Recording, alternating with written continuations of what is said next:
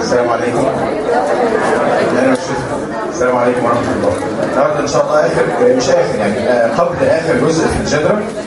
بإذن الله المرة الجاية هنخلص الجدرة كله ونبدأ بقى في الاوتوميك إن شاء الله الأمور هتبقى أحسن كتير. اتمنى الناس بقى اللي يعني اللي ناقص دي حاجة في الجدرة يبتدي يذاكرها يبتدي كده نلم الموضوع. ومن الأسبوع الجاي إن شاء الله هسيب لكم كده يعني مجموعة من الأسئلة. MCQ مجموعة أسئلة نظري وحاجات كده مع ال- الأخ أحمد في ال center آه، اللي يحب ي- يحلها ويجيبها ماشي اللي يحب يحلها وما يجيبهاش هو حر. آه، هنحاول نعمل يوم إن شاء الله آه، ميعاد كده إضافي لمراجعة الامتحان ده. يعني هنحل مع بعض بحيث إن يبقى شكل من أشكال المراجعة. وهقول لكم إن شاء الله الميعاد كده لما نتفق بإذن الله. شوف بس ال center أخباره إيه. أنا بفكر نعمله يوم الخميس الجاي مش بكرة يعني. الخميس الجاي إن شاء الله الصبح كده قبل حصتنا بتاعت 9 ونص. آه، اللي يحب يحضر اللي ما يقدرش خلاص بس المهم آه، يبقى في مذاكرة ويبقى في طريقة للتقييم. يعني أنت هتذاكر وحاول تقيم نفسك. ال MCQ مثلا عملت فيه إيه؟ ال written عرفت اكتب ما عرفتش كده يعني. آه، الجزء اللي وقفنا عنده المرة اللي فاتت كان ال- العنوان اللي كنا بنسميه ال adverse drug reactions لو فاكرين كده كان معناها أي حاجة undesirable أو harmful أو unwanted action of the drug وقلنا إن لو حصل مشكلة مع الدواء بنضطر يا إما نوقف الدواء أو نقلل الجرعة أو في بعض الحالات بضطر إن أنا أعالج المشكلة اللي حصلت. قسمناهم بقى لو فاكرين إلى types كده من حرف ال A لل F. type A مش هنضيع وقت بس عشان نلحق نخلص type A كان معناه augmented predictable adverse effects وكان تحتها بقى احتمال يكون الدواء بيعمل side effect أو secondary أو supersensitivity أو overdose أو حاجة بنسميها cytotoxicity آه خلي بالك type B ده كان من الحاجات المهمة قوي في الامتحانات. يلا يا جماعة الصوت سمحتوا. اللي بنسميه ال bizarre اللي هو unpredictable adverse effect.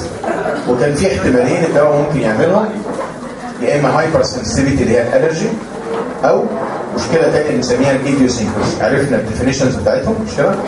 ال allergy هو تمام. abnormal unpredictable drug response due to antigen antibody reaction.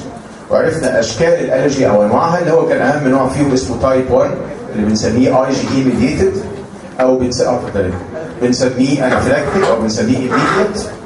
وعرفنا كلمة ال idiosyncrasy هو برضو abnormal unpredictable response بس كان السبب فيه genetic defect وعرفنا الأمثلة بقى بتاعت ال favism وال succinylcholine apnea وغيره. آه، كان في type اللي هو بنسميه بقى type C اللي هو كان chronic مع استعمال الدواء فترة طويلة. بيحصل tolerance وال tolerance غالبا بتؤدي بعدها إلى dependence بأنواعه بقى سواء psychic بس أو psychic و physical وممكن الدواء يعمل حاجة اسمها iatrogenicity يعني يكون الدواء هو اللي بيؤدي إلى مرض معين. آه بعد كده اتكلمنا على type اللي بنسميه D اللي هو قلنا عليه delayed وقلنا ال delayed ده هيبان يا إما على شكل teratogenicity الام الحامل اللي ممكن تاخد دواء بالذات في أول ثلاث شهور يعمل تشوهات في الجنين. وقلنا الأمثلة المشهورة كان عندنا مثال دواء تاريخي كده اسمه ثاليدومايد عمل ظاهرة يعني اتشهرت قوي في تاريخ ال pharma إن هو قلل قوي أو منع تكوين الأطراف في الأجنة عمل حاجة اسمها phocomelia أو amelia. عندنا مثال تتراسايكلين بيأثر على النمو بتاع العظم والسنان. الاسبرين بيعمل حاجة اسمها cardiac septal defect والدواء بتاع الصرع المشهور اللي اسمه فينيتوين بيعمل مشكلة بنسميها cleft lip أو ال hare lip وال cleft palate وقفنا بقى المرة اللي فاتت لحد ال type اللي بنسميه type E اللي بنقول عليه ال end of use effect المقصود بالكلام ده إن الدواء هيعمل عرض جانبي فقط لما نعمل sudden withdrawal of the drug. ده المقصود بكلمة end of dose طول ما أنا بدي الدواء مفيش مشاكل قوي. لكن once ان أنا عملت sudden withdrawal يحصل ساعتها adverse effect يقولوا عليه type E أو end of use كتاب القسم كاتب الحقيقة ثلاث أمثلة حلوين جدا. أول مثل كلكم متوقعينه. الأدوية اللي بتعمل إدمان. الدواء اللي من المرة اللي فاتت عمل tolerance وعمل psychic و physical dependence زي المورفين أو ال barbiturates أو الكحول أو أدوية كتير قوي. الأدوية دي لو عملنا ال sudden withdrawal لو العيان اللي متعود ياخد كل يوم جرعه مورفين ادمن المورفين وعملنا sudden withdrawal بيحصل حاجة كلكم فاكرينها اسمها withdrawal symptoms مش كده؟ أو يقول عليها ال abstinence syndrome ويمكن المرة اللي فاتت قلنا إن هي هتبقى أعراضها عكس شغل الدواء مش كده؟ مش إحنا قلنا الكلام ده المرة اللي فاتت؟ يعني المورفين بيعمل analgesia و euphoria وبينيم وبيقلل ال blood pressure وال heart rate وبيعمل constipation لو حصل إن أنا بقيت مدمن وعملت sudden withdrawal يحصل العكس على طول. يبقى دي يقال عليها ال end of use عيب مش هيبان غير لما نعمل abrupt أو sudden stop of the drug. المثال نمرة اثنين مثال معتمد على فيسيولوجي الحقيقة. فاكرين ال- الطريقة اللي بيطلع بيها الكورتيزول وبيطلع منين ولما بيطلع بيشتغل بيعمل إيه. فاكرين حاجة بنسميها hypothalamic pituitary adrenocortical axis بمعنى إيه بقى؟ عشان يفرز كورتيزول من ال adrenal cortex بيبدأ الأول الموضوع بإفراز هرمون من ال hypothalamus اسمه CRF أو يسموه أحيانا CRH تاني الاثنين صح يعني اللي هو اختصار corticotrophin releasing hormone أو factor الهرمون ده بيعمل إيه بعد ما يطلع من ال hypothalamus؟ بيروح على ال pituitary ويخليها تطلع هرمون تاني ده فاكرينه أكيد اسمه adrenocorticotrophic hormone اختصارا كده اسمه ال ACTH وظيفته إيه ال ACTH ده؟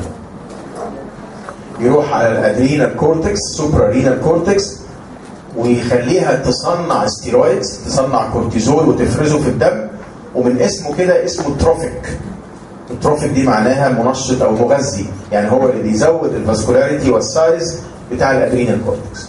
كويس؟ لما يطلع بقى كورتيزول من ال adrenal cortex وانت فاكر الفرق بين الكورتيزول والكورتيزون مش كده؟ كورتيزول الهيدروكورتيزون ده active مش كده؟ والكورتيزون ده كان لازم يتحول عن طريق ال liver إلى هيدروكورتيزون وات بقى هو إيه الهرمون يعمل إيه الكورتيزول اللي خرج ده؟ يعمل إيه في ال hypothalamus وال pituitary negative feedback صح؟ يبتدي يعمل inhibition على ال CRH وعلى ال ACTH لحد ما الكورتيزول اللي في الجسم ده يتكسر ويبدأ ال axis ده يشتغل مرة ثانية الكلام ده غريب؟ في الفسيولوجي أكيد افتكرتوه. طيب تعالى بقى تخيل معايا أنا باخد exogenous steroid عيان ايا كان مشكلته عنده autoimmune disease عنده bronchial asthma عنده أي حاجة. وبياخد من بره ستيرويد باخد كورتيزول من بره. الكورتيزول اللي من بره ده زي اللي جوه يعمل inhibition على ال axis ده. يعني هيقلل قوي افراز ال CRH وبالتالي ال ACTH هيقل وبالتالي ال endogenous steroid هيقل. صح؟ والغده يحصل فيها إيه؟ ال adrenal cortex دي ممكن يحصل فيها شوية atrophy طيب طول ما أنا بدي الكورتيزول اللي من بره خلاص أنا بقيت عامل suppression على ال endogenous ومعتمد تقريبا تماما على ال exogenous steroid لو أنا جيت في العيان ده وعملت sudden withdrawal العيان كان بياخد جرعة معينة من الستيرويد قلت له لو وقفها بقى مرة واحدة كده يحصل إيه؟ العيان ما هيبقاش عنده ستيرويد مش كده؟ العيان ما خدش ال exogenous steroid لأن أنا قلت له وقفه وفي نفس الوقت ال axis ده مش شغال ال feedback لسه لسه فيه inhibition فيحصل ما يسمى بال acute Addisonian insufficiency فجأة كده الكورتيزول في جسمه يقل جدا وده ممكن يبقى fatal في بعض الحالات فهمنا يا جماعة؟ الحل إيه بقى؟ لما تكون إن شاء الله في المستقبل كده بتكتب ستيرويد للعيان بالذات لو بتدي جرعات عالية أو بقالك فترة كبيرة بتستعملها اعمل gradual withdrawal إيه فكرة ال gradual withdrawal الفكرة إيه؟ لما بقلل ال exogenous بيبتدي مع الوقت ال endogenous يشتغل بيبدأ ال- الاكسس ده يشتغل فشوية شوية تلاقي ال adrenal cortex رجعت تشتغل وتطلع ستيرويد يبقى دي حاجة مهمة قوي إن شاء الله على آخر الترم بقى أو على آخر السنة هنكون جمعنا كل الأدوية اللي ممكن تعمل مشكلة لو عملنا لها sudden withdrawal افتكر يمكن يجي نمرة واحد الكورتيزول المثال الثالث بقى حاجة اسمها worsening of existing disease. يعني عايز يقول لي إن في مرض أنت بتعالجه بدواء لو وقفت الدواء ده فجأة المرض يزيد المرض يبقى أوحش من الأول. هقول لك مثالين اللي موجودين في الكتاب واحد هقدر أشرحه دلوقتي لأن هو كلام سهل شوية. والتاني خلينا لما ناخد ال autonomic إن شاء الله هنشرحه بالتفصيل. أنتوا عارفين الناس اللي عندها angina pectoris اللي عندهم ذبحه صدرية الناس دي بيبقى عندها مشكلة ischemia يعني ال blood supply للعضلات بتاعة القلب ضعيف شوية. فلما يعمل مجهود يجي له ألم بتاع الذبحة وأنا بعالج العيان ده بديله حاجة prophylactic يعني بديله دواء مش عشان أضيع الوجع دلوقتي أنا ما عنديش وجع دلوقتي ولا حاجة أنا بيجي لي بس وجع لما أعمل مجهود.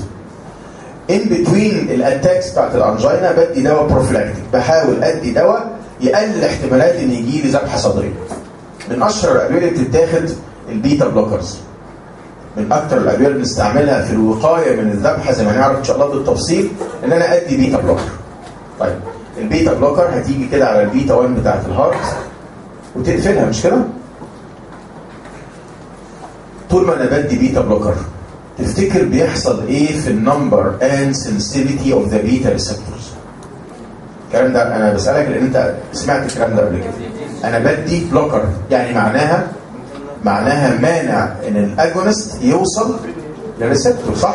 فيحصل في ال receptor حاجة أنت سمعتها أكيد اسمها upregulation يعني عدد البيتا 1 هيزيد وهتبقى more sensitive للأدرينالين والنور ادرينالين طيب هي عمالة تزيد بس أنت مش شايفها مش شغالة. مش باين شغلها. لأنها مقفولة بال beta blocker صح؟ يبقى هي عمالة تعلى وتزيد عددها بس أنت مش واخد بالك محدش عارف إنها بتزيد. بالظبط. تعالى بقى وقف ال beta blocker فجأة. كأنك عملت إيه؟ هي دي كانت متغطية كده مش كده؟ ال receptors دي عمالة تزيد وتبقى more sensitive بس متغطية بال blocker. شيل بقى الغطا مرة واحدة كده. كل ال receptors دي بقت معرضة لشغل أدرينالين ونور أدرينالين. اشتغل على الخلايا بتاعت القلب ويزود قوي شغلها لدرجة إنه ممكن يخلي ال angina أوحش من الأول. ال angina على فكرة بتحصل لما يكون شغل القلب أعلى من ال blood supply القلب بيعمل cardiac work ومش قادر أوصل له الدم اللي يكفي لل cardiac work ده. فساعتها يجي لي الألم بتاع الذبحة. لو أنا اديت beta blocker وقعدت فترة أدي beta blocker وال receptor عمالة تعلى ويبقى بتبقى more sensitive وعملت sudden stop ال beta دي كلها هتشتغل في وقت واحد. وهتعمل رد فعل عالي قوي تخلي القلب يشتغل بشكل كبير قوي وأنا مش قادر أوصل له دم أصلا لأن أنا عيان عندي angina فيدخل العيان مشكلة angina أسوأ من الأول أو في بعض الحالات بيجي له حالة اسمها myocardial infarction يعني جزء من خلايا القلب من عضلات القلب بيحصل لها necrotic effect مفهوم؟ أبقى أسألك سؤالين بقى. how to avoid المشكلة دي؟ ولو غلطت وعملتها هتصلح نفسك إزاي؟ أتجنب إزاي إن يحصل angina اوحش من الأول لو أنا وقفت ال beta blocker فجأة لا أسحبها بالظبط نفس الفكرة أعمل gradual withdrawal of beta blocker كان بياخد 40 مللي أخليهم 30 20 وهكذا وأنا بعمل gradual withdrawal إيه اللي بيحصل؟ يعني ليه الأمور هتتظبط ليه؟ صح ال receptor اللي كانت زادت دي هتبتدي بقى تتعرض لل agonist فشوية شوية ترجع تتظبط وترجع للعدد الطبيعي بتاعها. افرض بقى أنت غلطت وجالك العيان ب angina بسبب إن أنت أو هو أو أي حد وقف ال beta blocker فجاه صح؟ سهل قوي مش كده؟ اديله beta blocker تاني. اقفل ال receptors بقى اللي كانت فيها المشكلة دي وبعدين اعمل gradual withdrawal. فهمتوا قصدي بقى يا جماعة؟ يبقى ده المقصود بكلمة worsening of an existing disease المثال بتاعنا إن ال beta blockers بتصلح ال angina أو بتمنع ال angina لكن لو استعملتها فترة وجيت عملت sudden stop هيحصل worsening of angina. وساعات حتى يحصل زي ما قلت لك حاجة أسوأ اسمها myocardial infarction لأي سبب؟ يعني ابتدى يحصل side effects بدأ يحصل drug interaction مع دواء تاني. يعني أي حاجة مستدعية إن أنا أوقف ما جابتش نتيجة كويسة ايا كان يعني. لا النيتروجليسرين هيبقى دوره الأساسي هو طبعا ينفع في كل الاحوال يعني كوقاية وكعلاج لل acute attack. هيبقى دوره الأساسي في ال acute attacks يعني هو ده الدواء اللي هينقذني العيان اللي يجي له وجع angina دلوقتي. أقول له حط قرص النيتروجليسرين تحت اللسان. صح ممكن يتاخد prophylactic طبعا. وأنا بختار بقى على حسب العيان يعني أنا لما أجي أختار إيه في ال prophylaxis of angina بشوف بقى هو عنده أمراض إيه تانية بياخد أدوية إيه الدواء جاب نتيجة ولا ما جابش. طيب المثال التاني اللي موجود في نفس السطر ده دواء اسمه كلونيدين. مش هقول عليه حاجة خالص النهارده هناخده إن شاء الله بالتفصيل في ال autonomic يتقال عليه ألفا 2 agonist. المهم إن الدواء ده بيعالج hypertension الدواء ده من الأدوية اللي بتتاخد في علاج الضغط العالي. لقوا إن الكلونيدين لو قعدت تستعمله فترة وعملت sudden stop يحصل حاجة اسمها بقى النهارده وافتكرها إن شاء الله لما نيجي وقتها حاجة اسمها rebound hypertension يعني الضغط اللي كان عالي وتصلح بالكلونيدين لو وقفته فجأة الضغط يرجع يعلى أكتر من الأول. فبرضه نفس الفكرة الكلونيدين should be stopped gradually. ولو غلطت ووقفته فجأة والضغط عالي قوي ارجع اديه تاني. وهنعرف إن شاء الله ال mechanism بالتفصيل لأن هو معتمد بقى على شغل الكلونيدين نفسه فيعني هيبقى صعب إن إحنا نشرحه دلوقتي. يبقى دي ثلاث أمثلة بتاعت ما يسمى بال type E أو ال end of use العيوب مش هتظهر للدواء غير لما نوقفه فجاه type F يمكن قلت لكم قبل كده إن مش كل الكتب ومش كل الأساتذة يعني متفقين على إن في حاجة اسمها type F هي type F معناها failure of therapy إن أنا أدي دواء وما يجيبش نتيجة. ليها احتمالين. يا إما من البداية خالص الدواء ما اشتغلش فيسموها primary failure الدواء فشل, فشل إن هو يعمل therapeutic effect من أول يوم اديت فيه الدواء. وفي نوع تاني من ال failure اسمه secondary failure مفهوم الفرق؟ secondary معناها إيه؟ اشتغل فترة وبعد كده فقد تأثيره.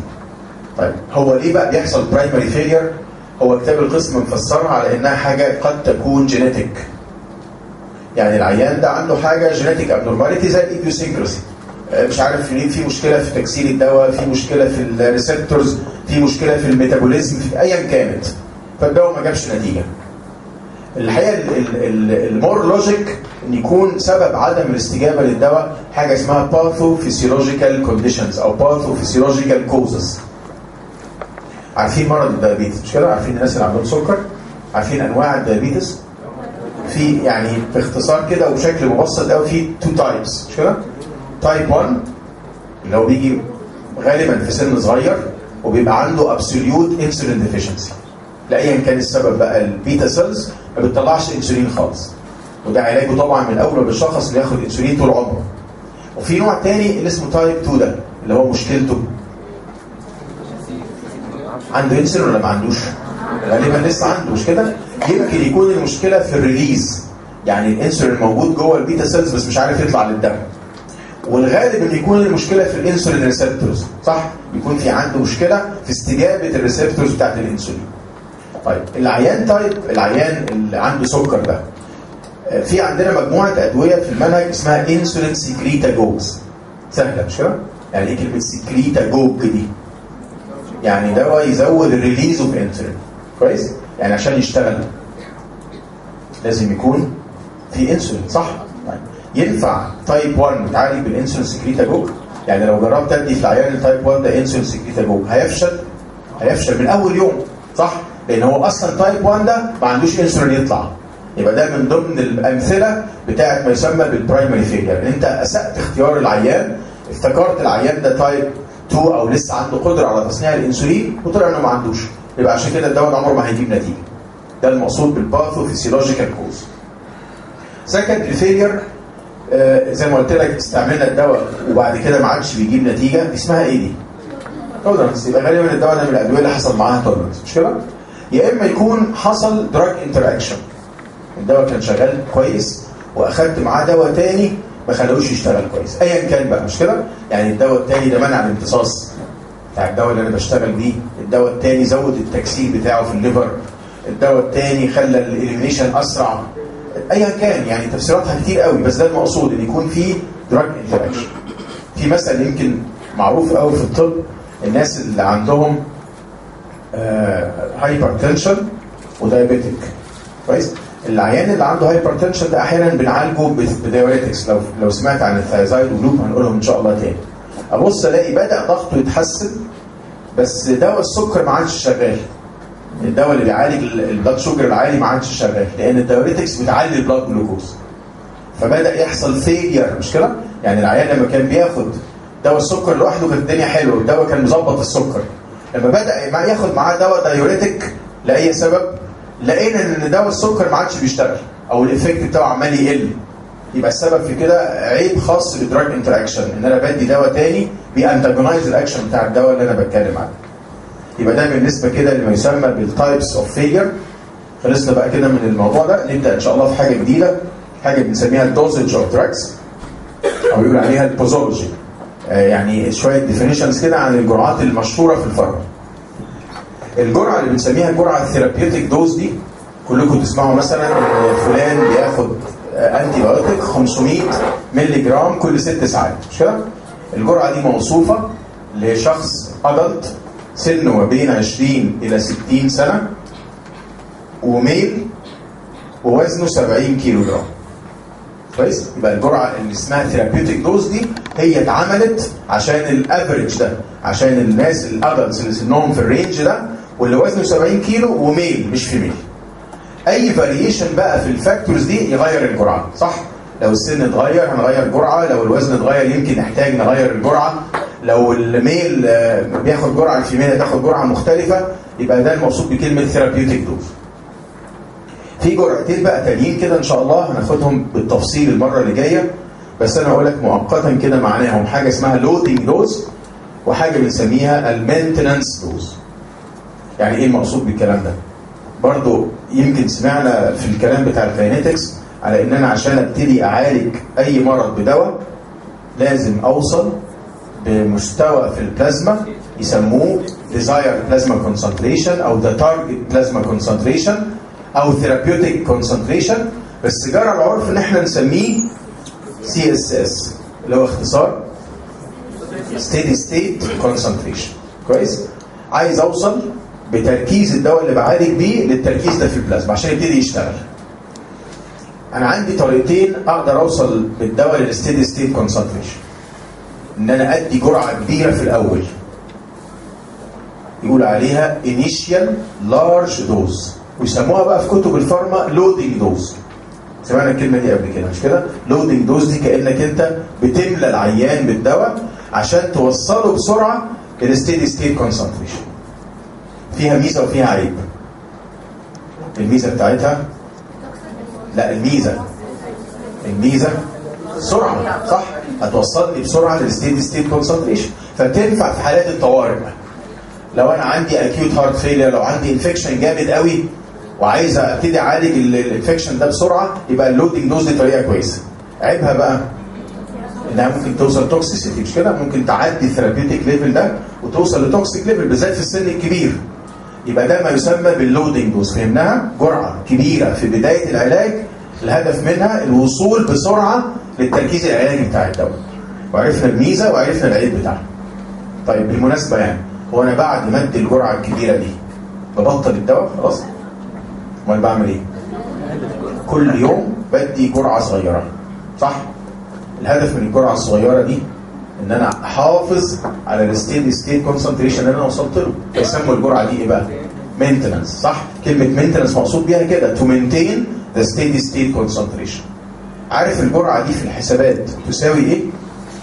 تساوي الجزء اللي بيفقد من الدواء في اليوم. يعني الدواء بيحصل له metabolism أو excretion أو الاثنين فبيضيع منه جزء. من اللي أنا وصلت له ده بعوض الجزء ده بجرعة اسمها ال maintenance dose. سهلة؟ طب الطريقة الثانية عشان أوصل لل steady state concentration هو إحنا كلنا لما نيجي نعالج أمراض بروح مدي جرعة كبيرة قوي وبعدين أكمل بجرعة صغيرة؟ لا ده أنا ببدأ بالجرعة الصغيرة. ببدأ ب maintenance dose. بقول للعيان مثلا في ال digitalis خد قرص كل يوم. هنعرف إن شاء الله المرة الجاية إن أنا بوصل لل steady state concentration بالتدريج كده. هنعرف إن شاء الله بالتفصيل وهنوصل إمتى والكلام ده بس ده المقصود بال maintenance dose إن أنا بدأت بالجرعة دي والجرعة الصغيرة دي بالتدريج كده على مدى فترة زمنية معينة وصلتني لل steady state concentration دي ميزة الطريقة دي. وايه عيبها؟ عيبها بطء صح؟ بس مش هتفرق معايا لو ده عيان chronic اللي عنده ضغط ده هيقعد طول عمره يتعالج واللي عنده الأمراض المزمنة كلها مش فارق معايا موضوع البطء ده. الميزة اللي فيها. غالبا مش هيحصل تسمم. مش كده؟ مش هعلى قوي بالدواء فجأة وأوصل المستوى بتاعه في البلازما ال toxic طيب اللي مكتوب عندنا في الكتاب بقى اللي هو loading dose و maintenance dose هو مكتوب بس مجرد definitions لما نرجع إن شاء الله المرة اللي جاية وناخد آخر جزء في الف... في ال pharmacol في الجنرال هنلاقي فيه معادلات. للأسف هنضطر نعرفها. إزاي أحسب ال loading dose وإزاي أحسب ال maintenance dose ال loading dose أنتوا عارفين حسبتها. فاكرين المعادلة بتاعت ال VD ال volume of distribution ده إن أنا أدي amount مش كده؟ أو dose وأشوف ال concentration واقسم ويطلع رقم اسمه ال VD of the drug أنا النهارده بقى عندي ال VD وعندي ال concentration اللي أنا عايز أوصل له فاضل إن أنا أجيب ال dose ال amount المطلوبة صح؟ أروح أعمل؟ آه جو ساعه حاضر. ومش عارف دايما بيتوصى في مجموعة معانا كده بيتوصى بيها غالبا يعني.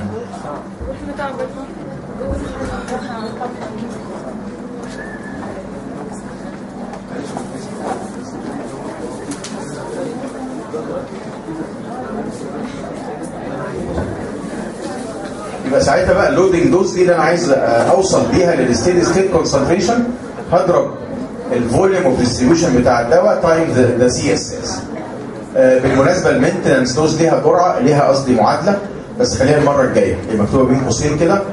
حاجة اسمها ال CL الاختصار ال clearance في ال steady state في حاجة اسمها TM TM دي اللي هي ال time interval ال TM اللي هي الزمن ما بين الجرعة والتانيه أنا بقول للعيان الدواء ده كل ست ساعات هو ده يساوي ال TM بالنسبة لي. وهنعرف إن شاء الله حسبتها بالتفصيل بعد كده. في جرعة جرعتين كده ما لهمش معنى قوي. حاجة اسمها ال minimum effective dose المقصود بيها أقل جرعة بتعمل therapeutic effect فاكرين حاجة اسمها ال ED minimum في ال dose response curve ده؟ هي حاجة شبه كده الجرعة اللي تديني أقل response أو أقل جرعة تديني response في جرعة تانية برضو ما أعتقدش إنها تمر عليك تاني حاجة اسمها maximal tolerated dose هي tolerated يعني إيه؟ يعني يمكن تحملها بالظبط. يعني أقصى جرعة ممكن أديها للعيان من غير ما يبان عليه side effect أو adverse effect الجرعة اللي شوية مهمة بقى وفيها شوية تفاصيل كده حاجة اسمها ال median اللي هي؟ لا loading dose دي معناها جرعة كبيرة في بداية العلاج. ده حميد بعد اذنك جرعة لا يعني هم بردانين انت تصرف. جرعة كبيرة بديها في بداية العلاج عشان اوصل ل steady state concentration خلاص؟ دي جرعة بديها مرة غالبا. لكن maximum tolerated dose ده لقيت عيان مثلا عنده hypertension وبديله دواء ومش جايب نتيجة فعمال اعلي جرعات.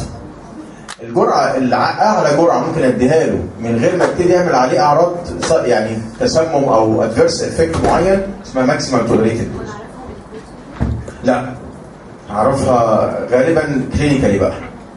آه، يعني لما أعمل التجارب على العيانين وأشوف الجرعة الاعلى اللي وصلتني ال response وما حص- ما حصلش معاها side effect يبقى دي maximum tolerated dose ما بتتعرفش بالمعادلة ما أعتقدش إن ليها يعني equation زي دي مالهاش علاقة بالمعادلة دي.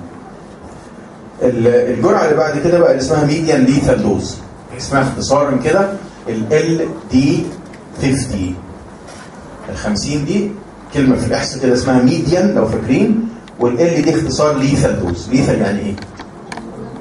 lethal يعني مميت أو قاتل. مش كده؟ طيب. أنا عشان بس أوضح لك الموضوع إحنا لما بيجي يعملوا أي دواء جديد ويبتدي يجربوه أول مرحلة في التجارب بتبقى على experimental animals ممكن هتسمعوا الكلام ده إن شاء الله في العملي. بي- بيجربوا الأول على tissues يجيبوا الدواء ده يجربوا على ال intestine مثلا بتاعة الأرنب على القلب مش عارف بتاع إيه على ال uterus بتاع إيه. ده اسمه in vitro إن أنا بجرب الدواء على isolated organs وبعد كده يبتدي يجربوه على experimental animals معظمها بتبقى فئران أو ال rat يعني أو ال mice أو other animals يبتدي يجربوا عليه الدواء. من ضمن الحاجات اللي بعملها بقى في الأبحاث على ال animals اللي هي ال animal study زي ما بيقولوا عليها إن أنا أشوف ال toxicity of the drug عايز أعرف الدواء ده أخباره إيه كدواء كتسمم يعني. وبيعملوا حاجة بسيطة جدا. بيجيبوا مجموعات من الحيوانات يعني أنا عندي مثلا آه، بشتغل على فئران. فاجيب مجموعة كل مجموعات كده من ال من ال animals كل مجموعة مثلا say فيها 10 فئران. وكل مجموعة أديها جرعة. يعني دي مثلا هديها 10 مللي دي هديها 20 دي هديها 40 80 160 وأفضل أزود جرعات كده زي ما أنت عايز. إزاي بقى أحسب ال دي 50 ال دي 50 هي الجرعة الجرعة اللي تموت 50% من ال experimental animals مفهومة؟ ال median lethal dose هي the dose which kills 50% of experimental animals. يعني هاجي كده حقنت النهارده الجرعات دي في الحيوانات. آجي تاني يوم كده أشوف قد إيه ماتوا لقيت مثلا العشرة ما فيش حاجة ماتت ال 20 واحد مات. في المجموعة اللي خدت 20 مللي فار واحد هو اللي مات. وبعدين اللي وراها مش عارف كام فار مات. أشوف بقى المجموعة اللي مات نصها. وأشوف الجرعة اللي موتت النص ده قد إيه. يبقى بالنسبة لي اسمها ال دي 50 سهلة؟ طيب هي مقياس لايه ال دي 50 دي؟ يعني لما أقول لك الدواء اللي لسه بنجربه دواء إكس ال دي 50 بتاعته 500 ودواء تاني ال LD50 بتاعته 100 100 مللي جرام. مش كده؟ مين فيهم more toxic؟ 100 صح؟ لأنه موت بجرعة صغيرة. يبقى الدواء ده is more toxic عن الدواء التاني. يبقى هي مقياس لما يسمى بال acute drug toxicity مقياس مجرد بس كده حاجة indication يعني عشان لما أجي أقارن أدوية ببعضها. طيب. النقطة نمرة اثنين بقى. انت فهمتوا ال دي 50 طيب. ال دي 50 بحسب بيها حاجة مهمة قوي اسمها therapeutic index وكنت بحسب بيها زمان كلمة كده موجودة في الكتاب مش مهمة اسمها safety margin المهم بالنسبة لي أنا الجرعة دي بتساعدني إن أنا أحسب حاجة بنسميها ال therapeutic index إيه بقى ال therapeutic index دي؟ أقسم ال LD50 على جرعة تانية اسمها ال ED50 أنا عرفت ال LD50 اختصار إيه. مش كده؟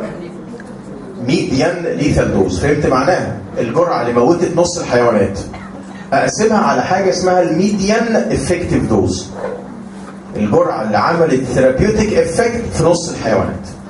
وأقسم ده على ده. كويس؟ أنا عارف إن أنت confused قوي بس أنا هقول لك مثال بالأرقام. عندنا ثلاث أدوية. الدواء الأولاني لقيت ال LD50 بتاعته 100 100 مللي جرام يعني وال ED50 بتاعته 1 1 مللي جرام ده الدواء الأولاني.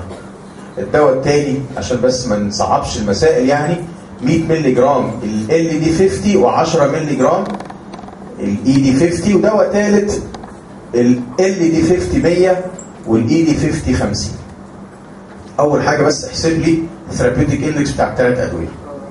أول واحد 100 على واحد 100 100 إيه؟ يعني 100 مللي جرام ولا 100 فران ولا 100 مش حاجة دي إيش بقى المللي جرام بيطير مع المللي جرام مش كده؟ طيب الثاني 10 الثالث 2 مين فيهم the safest ومين فيهم the most toxic مين ال safest المية. ليه بقى؟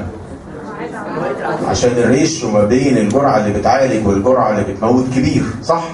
ومين فيهم the most toxic الاثنين اشمعنى؟ عشان ال ratio ما بين الجرعة اللي بتعالج والجرعة اللي بتموت قليل. صح؟ هي 100 دي 100 دي بالنسبة لي مجازا يعني. معناها إن عشان يحصل toxicity محتاج أعمل إيه؟ عشان يعمل تسمم الدواء ده محتاج أعمل إيه؟ أدي 100 ضعف الجرعة اللي بتعالج. صح؟ وال... والاثنين معناها إيه؟ لما يطلع ال index رقم اثنين معناها إيه؟ إن عشان يحصل تسمم آخد بس إيه؟ ضعف الجرعة صح؟ يبقى أكيد اللي more toxic هو الرقم اللي يقول لك عليه القريب من الواحد الصحيح صح؟ هو ينفع أستعمل دواء ال index بتاعه واحد. هو ال index بتاعه واحد ده معناه إيه؟ الجرعه اللي بتموت هي الجرعه اللي بتخفف. ما ينفعش طبعا مش كده؟ كل ما كان الرقم قريب من الواحد الصحيح معناها إن الدواء ده is more toxic وكل ما زاد الرقم معناها إن الدواء ده safe لأن ال ratio ما بين ال effective dose الجرعة العلاجية والجرعة اللي بتعمل تسمم فرق كبير قوي لما أقول لك مثال كده في المنهج إن شاء الله مجموعة اسمها ال benzodiazepines أدوية بتهدي وبتنيم وبتعالج التشنجات. لما أقول لك ال therapeutic index بتاعها more than 1000 فهمت إيه؟ ال therapeutic index بتاعها 1000 وفما فوق. معناها انها extremely safe drugs مش كده؟ أدوية safe جدا أنت عشان يحصل تسمم منها مضطر تعمل إيه يعني أو عشان تسمم عيان بيها محتاج أدي 1000 جرعة قد الجرعة العلاجيه صح؟ بالظبط يعني حتى لو 1000 مللي أو 1000 قرصة أو حاجة دي حاجة يعني نظريا حتى صعبة قوي فهمنا الفكرة يا جماعة؟ يبقى عرفت ال LD50 هو مقياس للتسمم مش كده؟ كل ما كان الدواء بيعمل تسمم بجرعة صغيرة يبقى الدواء ده toxic. وحسبت منها حاجة هي مش دقيقة قوي الحقيقة. بس هي حاجة كده إيه مجرد indication للتسمم. إن أنا بحسب ال therapeutic index بقسم حاجة اسمها ال median lethal dose اللي هي الجرعة اللي موتت نص عدد الحيوانات على ال median effective dose الجرعة اللي عملت therapeutic effect معين في نص العدد. كل ما كان الرقم كبير يبقى ده more safe والعكس كل ما كان الرقم قريب من الواحد معناها الدواء ده toxic صعب؟ طيب في عندنا بقى استعمالات تانية لل LD50 موجودة في الكتاب هو كاتب إن هو ممكن يديك فكرة عن ال GIT absorption يعني إيه بقى؟ عايز أعرف الدواء ده بيمتص كويس ولا لأ. مش كده؟ فأفضل أدي جرعات منه oral وأدي جرعات من نفس الدواء بس هديها IV وأحسب بقى ال LD 50 بتاعت ال oral dose وال LD 50 بتاعت ال intravenous dose فهمت قصدي إيه؟ نفس اللي أنا عملته المرة اللي فاتت. بس مرة اديته عن طريق الفم للحيوانات اللي بتجرب عليها ومرة حقنته. إمتى أقول ان الدواء ده امتصاصه كويس أو امتصاصه وحش من الرقم بتاع ال LD 50 لما يكونوا قريبين من بعض يعني لما يكون الرقم اللي بيموت orally قريب من الرقم اللي بيموت intravenous معناها إيه؟ معناها الامتصاص اخباره إيه؟ كويس مش كده؟ معناها ال oral absorption كويس صح؟ بدليل ان جزء كبير من الدواء لما اتاخد oral وصل وعمل تسمم لما يكون الفرق كبير لما يكون ال LD 50 ال oral اعلى بكتير من ال IV محتاج الامتصاص معناه ان الامتصاص مش كامل صح؟ يبقى ممكن الرقم ده وطبعا برضو ده حاجة لا يعتمد عليها ده لسه هنكمل أبحاث كتيرة بعد كده بس أقصد أقول لك إن هو ممكن يديك indication of the degree of oral absorption صعبة كده يا جماعة؟ يعني سيبك حتى من ال LD 50 لو رقم بيدي تأثير علاجي لما بيتاخد oral بجرعة كبيرة قوي وبيدي نفس التأثير العلاجي لما بيتاخد intravenous بجرعة صغيرة. يبقى أكيد امتصاصه oral مش حلو. نفس الفكرة بالظبط. بس بدل ما بحسب therapeutic response بحسب toxic effect النقطة اللي بعد كده يعني قررنا الحمد لله بعد تشاورات مع الناس الصبح إن إحنا مش هنقولها. أنا قعدت امبارح والله طول يعني فترة طويلة جدا أشوف هنقولها ولا لأ وأدور عليها في الكتب مكتوبه إزاي وتفسيراتها إيه ما وصلتش لحاجة. يعني تهورت الصبح وقلتها وفتحت جدل كبير جدا جدا. اللي عايز يسأل فيها بعد المحاضرة هنقعد معاه إن شاء الله حتى لبكرة. هو بيتكلم على ال دي 50 بعد يوم وال دي 50 بعد ثلاث أيام. الفرق بينهم ده ممكن يديني فكرة عن الاكسكريشن أو الميتابوليزم بتاع الدواء. الفرق ما بين الجرعتين الجرعة اللي موتت بعد يوم والجرعة اللي موتت بعد ثلاث أيام الفرق ده ممكن يديني فكرة عن الدواء ده هل بتخلص منه بسرعة ولا في مشكلة في التخلص منه. وأنا قلت حاجة وهم ما اقتنعوش وقالوا عكسها وما اقتنعناش و فيعني إيه الموضوع يعني خليه بقى كده إيه بره الحصة إن شاء الله نبتدي نتفاهم فيه. يعني ضيع وقت كتير قوي الحقيقة في المحاضرة وهو حاجة ما أعتقدش يعني إن هي لها أهمية كبيرة قوي يعني. الجزء اللي جاي بعد كده بقى اللي هو أنا أقدر أعرف من ال toxicity بتاعة الدواء لما الدواء يموت ال animals باخد الليفر والكدني والسبلين والبرين والبون مارو وأعمل pathology عليهم. وأشوف إيه the cause of death يعني بعرف إن الدواء عمل تسمم مموت عشان nephrotoxic أو عشان hepatotoxic فمن ضمن استخدامات ال LD 50 دي إن أنا لما بموت الع- ال- ال- ال- الحيوانات التجارب أقدر من خلال ال- الفئران اللي ماتت دي أعرف the cause of toxicity هل هو بوظ organ معين أو بوظ حاجة تانية فبيديني فكرة عن السبب بتاع الوفاة في التسمم. آه، آخر استعمال ليها بقى حاجة بنسميها ال clinical trials إحنا عرفنا الدواء لما بيتجرب بنبدأ ب animals مش كده؟ بنبدأ ب tissues الأول isolated اسمها in vitro وبعدين نجرب على الحيوانات كاملة اللي بنسميها in vivo ومن ضمن التجارب اللي عملتها عرفت ال LD 50 وال therapeutic index بتاع الدواء. لما أجي بقى اجرب المرحلة الثانية بقى اجرب الدواء ده في بني آدمين سواء volunteers أو عيانين ببتدي بجرعة تساوي واحد على عشرة من ال LD 50 يعني في, في البني آدم بقى ما بقعدش أشغل دماغي بقى هبتدي بجرعة قد إيه وجرعة تطلع صغيرة ولا كبيرة هو جرى العرف إن أنا لو ال LD 50 مثلا 100 مللي وهبدأ أجرب الدواء ده في البني آدمين أبدأ ب 10 مللي جرام.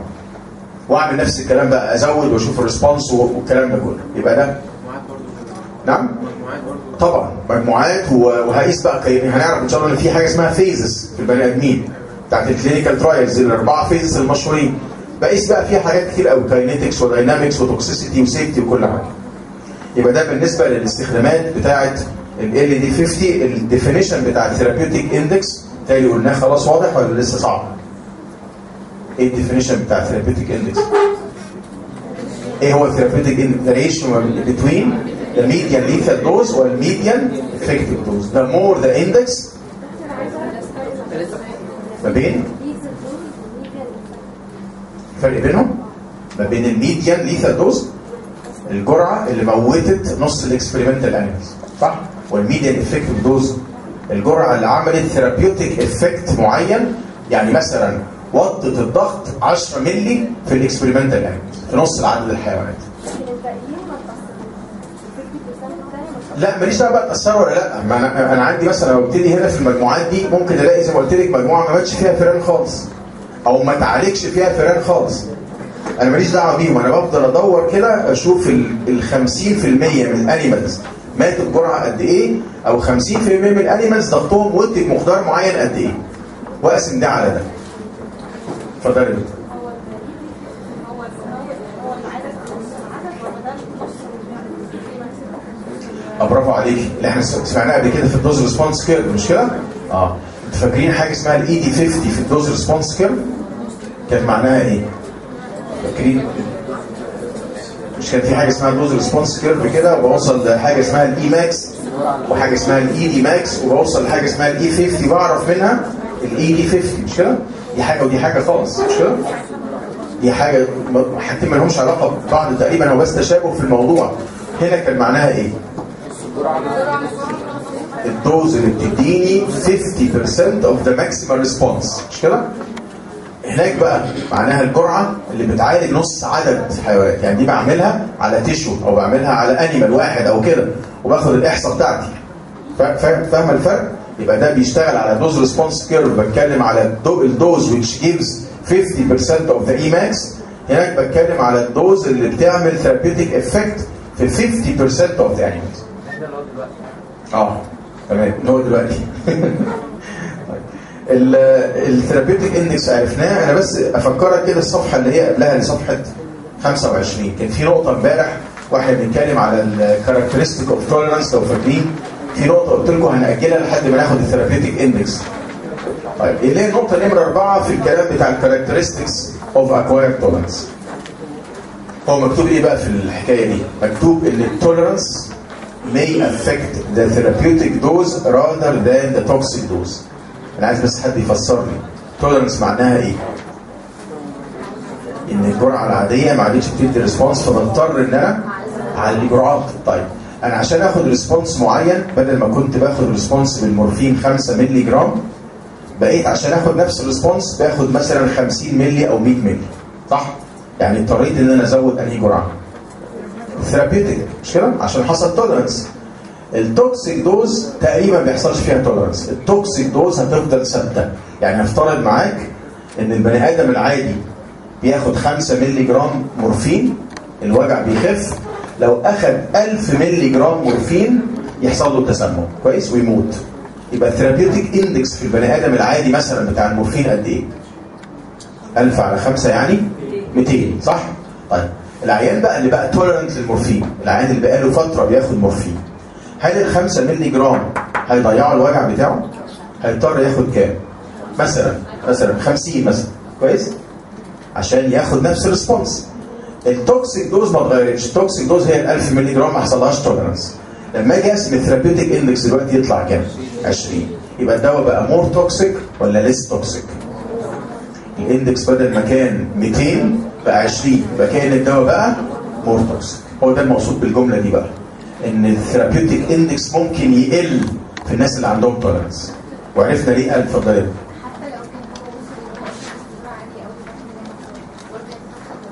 آه بالظبط.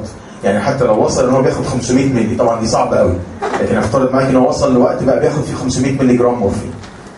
ال- ال- ال double بتاعها يموته. لكن العادي الأولاني ده لو بياخد خمسة محتاج 200 ضعف عشان يموت. دي فكرة ال therapeutic index كده.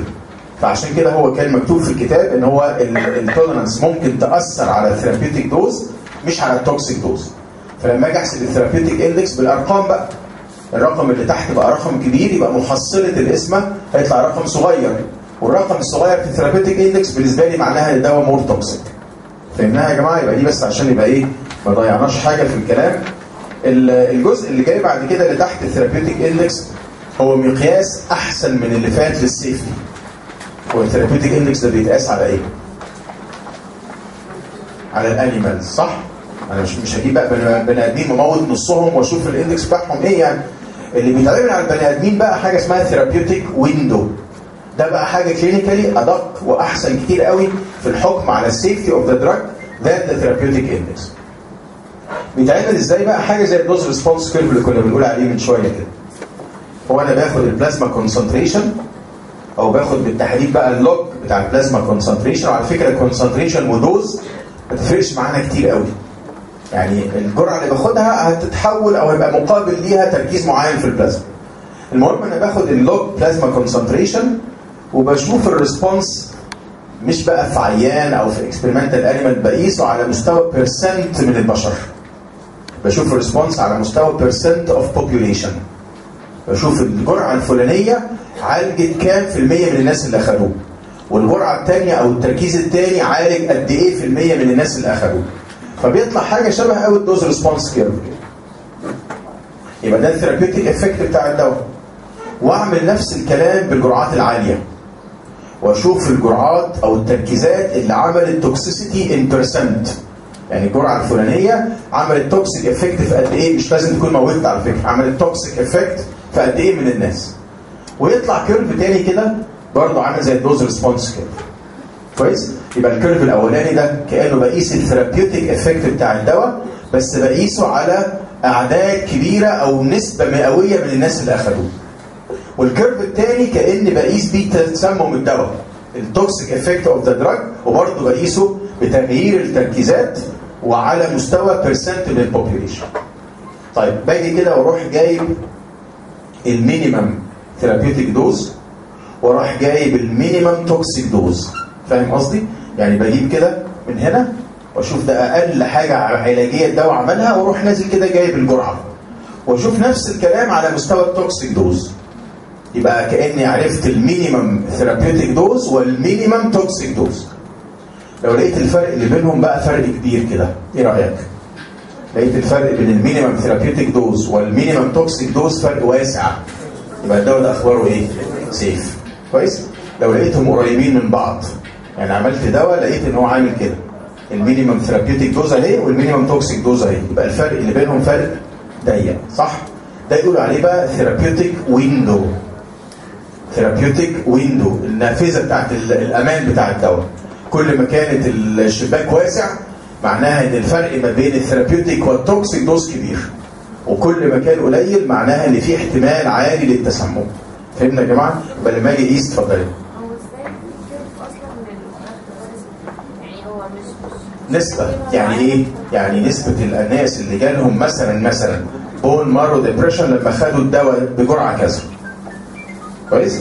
وبعدين لما زودت الجرعة النسبة دي زادت ولما مش هو الرقم بتاع ال toxic dose ده ثابت يعني ده مثلا في مثلا ثابت لكل الناس؟ لا طبعا ما مش كل الناس بقى زي بعض في إيه؟ في الابزوربشن والديستريبيوشن والريسبتورز والكاينetics والاليمينيشن والمش عارف ال volume مش كل الناس قد بعض. هو رقم تقريبي. مش كده؟ يعني ممكن واحد ياخد 1000 مللي جرام وما يموتش. واحد ياخد 900 أو 700 مللي جرام ويجي له acute toxicity فالفكرة بقى الفكرة دي حاجة تقريبية range كده. طيب المهم بس فهمنا الفكرة بتاعت ال therapeutic window كل ما كان الفرق ما بين ال minimum therapeutic وال minimum toxic كبير يبقى الدواء ده safe كتاب القسم كاتب راسم curve ين واحد فيهم ال window ضيق اللي هو اللي على الشمال اللي هو نمره A اللي هو ال warfarin ال warfarin لما ناخده إن شاء الله في الترم الثاني في ال blood هقول لك الدواء ده يمكن قلت لك قبل كده. دواء مزعج جدا ودواء دايما أنت خايف منه. خايف يكون تأثيره قليل فيجي لي جلطة وخايف يزيد شغله فيعمل لي نزيف رهيب. المشكلة بتاعت ال warfarin اتفضل بالنسبة يعني هو الامتصاص ال therapeutic dose هيبقى هو حسب الدواء بقى لما ناخد ان شاء الله المرة الجاية كده أقول لك إن في حاجة اسمها first order و zero order يمكن سالتني عليه صح؟ ممكن الامتصاص في وقت يحصل له saturation في بعض الأدوية ممكن لأ. آه نفس الدواء حسب ال dose بتاعته. يعني في جرعات صغيرة بيمتص كله. لما علينا جرعه شوية حصل saturation مثلا ل carrier أو لإنزيم ما بقاش بيمتص كله أو بيتكسر كله. طيب ال warfarin ده لما تزود الجرعة شوية يحصل toxic effect عشان كده دايما بيبقى في حذر شديد جدا إن أنا أعلي جرعات ال warfarin ولازم أعمل متابعة للعيان. هنسمع عن prothrombin time وحاجة اسمها ال INR وغيره. المثال بقى بتاع ال safe drugs اللي هو موجود على اليمين البنسلين وأنا سألتهم الصبح البنسلين ده من الحاجات اكتشفت إن أنتوا ما اخدتوش مايكرو قوي يعني. البنسلين ده في ميزة مهمة قوي دي حاجة اسمها selective toxicity لأنه بيشتغل على ال cell wall وده موجود في البكتيريا مش موجود في البني آدم. بشكل عمومي كده البنسلين is safe drug مش بس عشان ليه selective toxicity عشان ليه wide therapeutic window فهمت قصدي إيه؟ الفرق ما بين ال therapeutic dose أو ال minimum therapeutic dose وال minimum toxic dose فرق كبير قوي فأقدر اعلي جرعات براحتي. يعني لقيت العيان ما خفش من البنسلين أقدر أديله ضعف الجرعة. واقدر اديله أربع اضعاف واقدر حتى اديله 10 اضعاف الجرعة. لأن كل ده مش هيوصلني لل- من ال toxic level أو ال minimum toxic effect مفهوم يا جماعة؟ يبقى ال- الـ warfarin ده خطر وعرفنا السبب. البنسلين is a very safe drug ده بالنسبة للكلام اللي موجود على فكرة ال curve بص عليه وبس الخطوط مش واضحة قوي. يعني ال therapeutic window هتبقى خط نازل كده من أول حتة ال therapeutic window اللي فوق دي وخط تاني على على على ال toxic effect ويبقى المسافة اللي بينهم دي هي اللي اسمها ال therapeutic window. آه، الجزء اللي جاي بقى إحنا خلصنا كده حتة ال pathology. آخر حاجة بقى في في ال factors affecting أنا عايز أقول لك إن بقى لنا مثلا ثلاث أربع سنين أو أكتر تقريبا ما فيش امتحان ما فيهوش سؤال على ال factors affecting the dose and action يعني لو أنا عملت إحصاء كده لو فضيت إن شاء الله وعملت لكم إحصاء كده على أسئلة الجنرال غالبا هلاقي أكتر بي- أكتر آه، سؤال بيتكرر هو ده. وبعدين وراه factors affecting oral absorption أكتر سؤالين هتلاقيهم موجودين في أسئلة الجنرال في الآخر. فده حاجة من الحاجات الأساسية. بالمناسبة السؤال مش بيجي إنك تقول all the factors عمر ما هيجي كده لأن أسئلتنا بتبقى short essay كل سؤال عليه خمس درجات كده حاجة محددة. برضه من ضمن ال factors اللي محتمل قوي تيجي في الامتحان ال factor بتاع الايدج الحاجات المهمة قوي هنشرحها إن شاء الله دلوقتي وال factor بتاع ال sex اللي موجود عندنا نمرة أربعة وال factor بتاع ال pathological condition أو ال pathological state اللي هو في صفحة 29 بس ده لا يمنع بقى إن هو يسألك في أي factor مش كده؟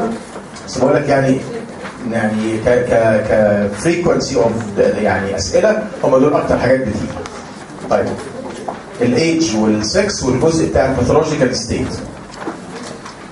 الكلام بقى اللي هو إيه ال factor اللي يخليني أنا وصفت الجرعة ال therapeutic لمين؟ مين مين الشخص اللي وصفت له ال therapeutic dose؟ لما قلت لك الجرعة بتاعت ال antibiotic 500 مللي كل ست ساعات. adult يعني إيه adult؟ سنه من 20 ل 60 مش كده؟ male وزنه 70 كويس؟ أي variation تاني بقى محتاج إن أنا أظبط جرعات. آه، نمرة واحد في ال variations اللي ممكن تحصل حاجة اسمها biological أو يسموها individual variation.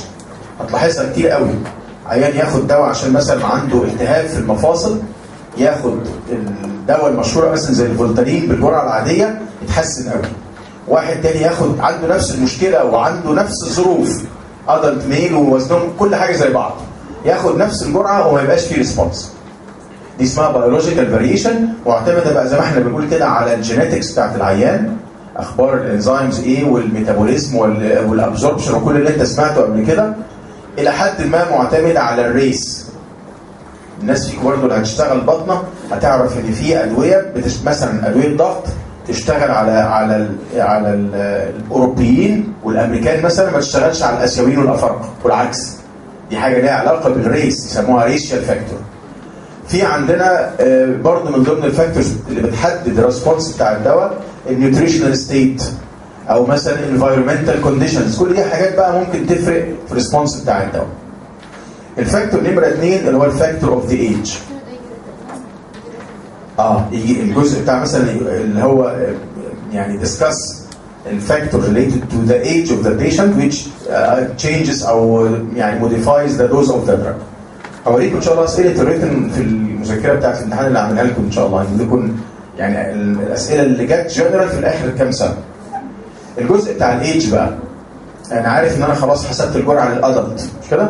عايز أعرف بقى السن اللي أصغر من ال adult إيه أخبار الجرعة بتاعته اللي بنسميها ال pediatrics اللي هم الأطفال يعني والناس اللي أكبر من سن ال 60 أو من سن 60 فما فوق نعمل إيه في الجرعة بتاعتها؟ دي اسمها geriatrics اللي هو يسموها يعني جرعة المسنين.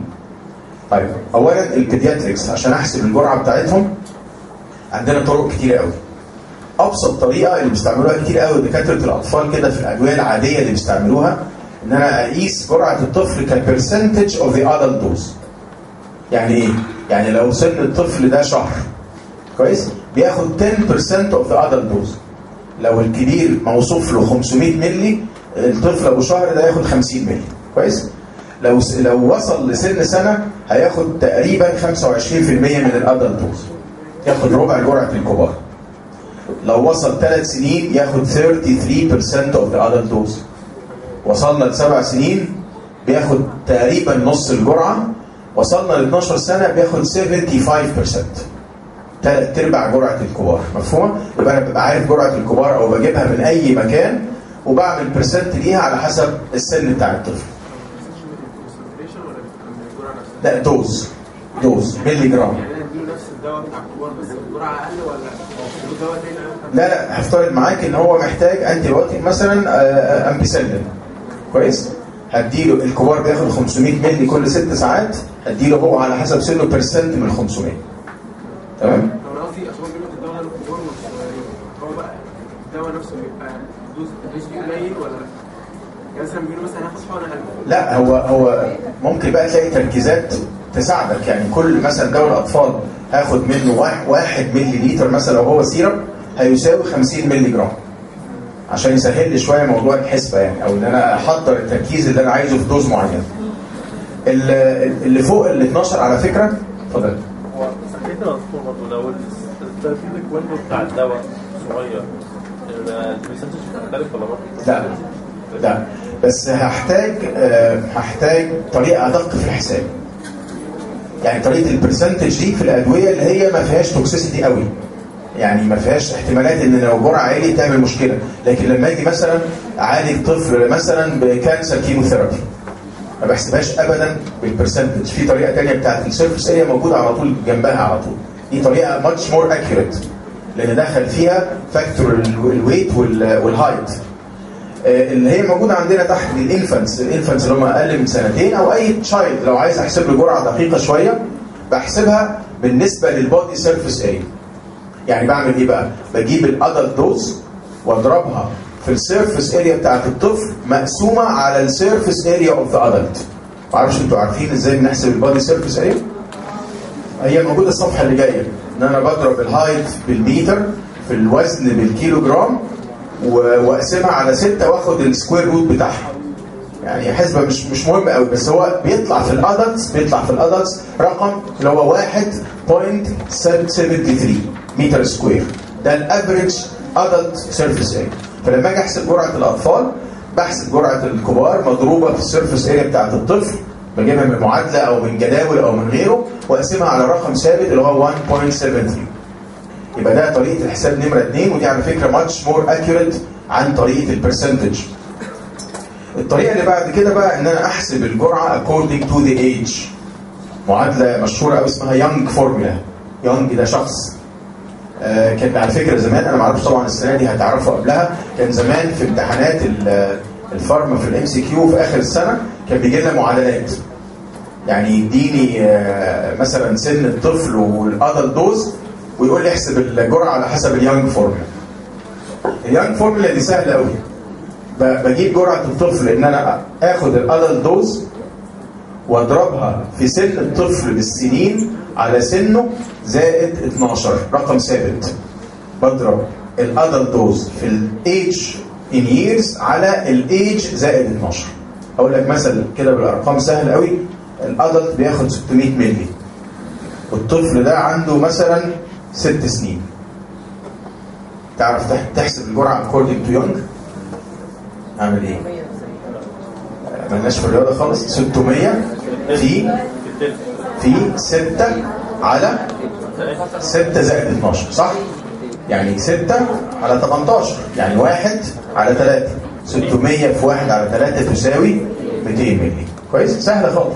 ان أنا احسب الجرعه according to Young formula يبقى عرفنا كده بقى إزاي بنحسب الجرعات الجزء الثاني اللي بتتسأل فيه بقى هم الأطفال مختلفين عن الأدلتس في إيه؟ يعني انت ليه مضطر انك انت تغير ال dose في ال children عن ال adults؟ تفتكر في إيه؟ يعني إيه الفروق المهمة اللي من غير حتى ما تبص في الكتاب؟ في إيه بقى؟ liver صح ال hepatic microsomal enzymes مش زي الكبار kidney وبالتالي برضه مشكلة ال renal excretion قليلة blood brain barrier more permeable ال plasma proteins كميتها أقل واخد بالك؟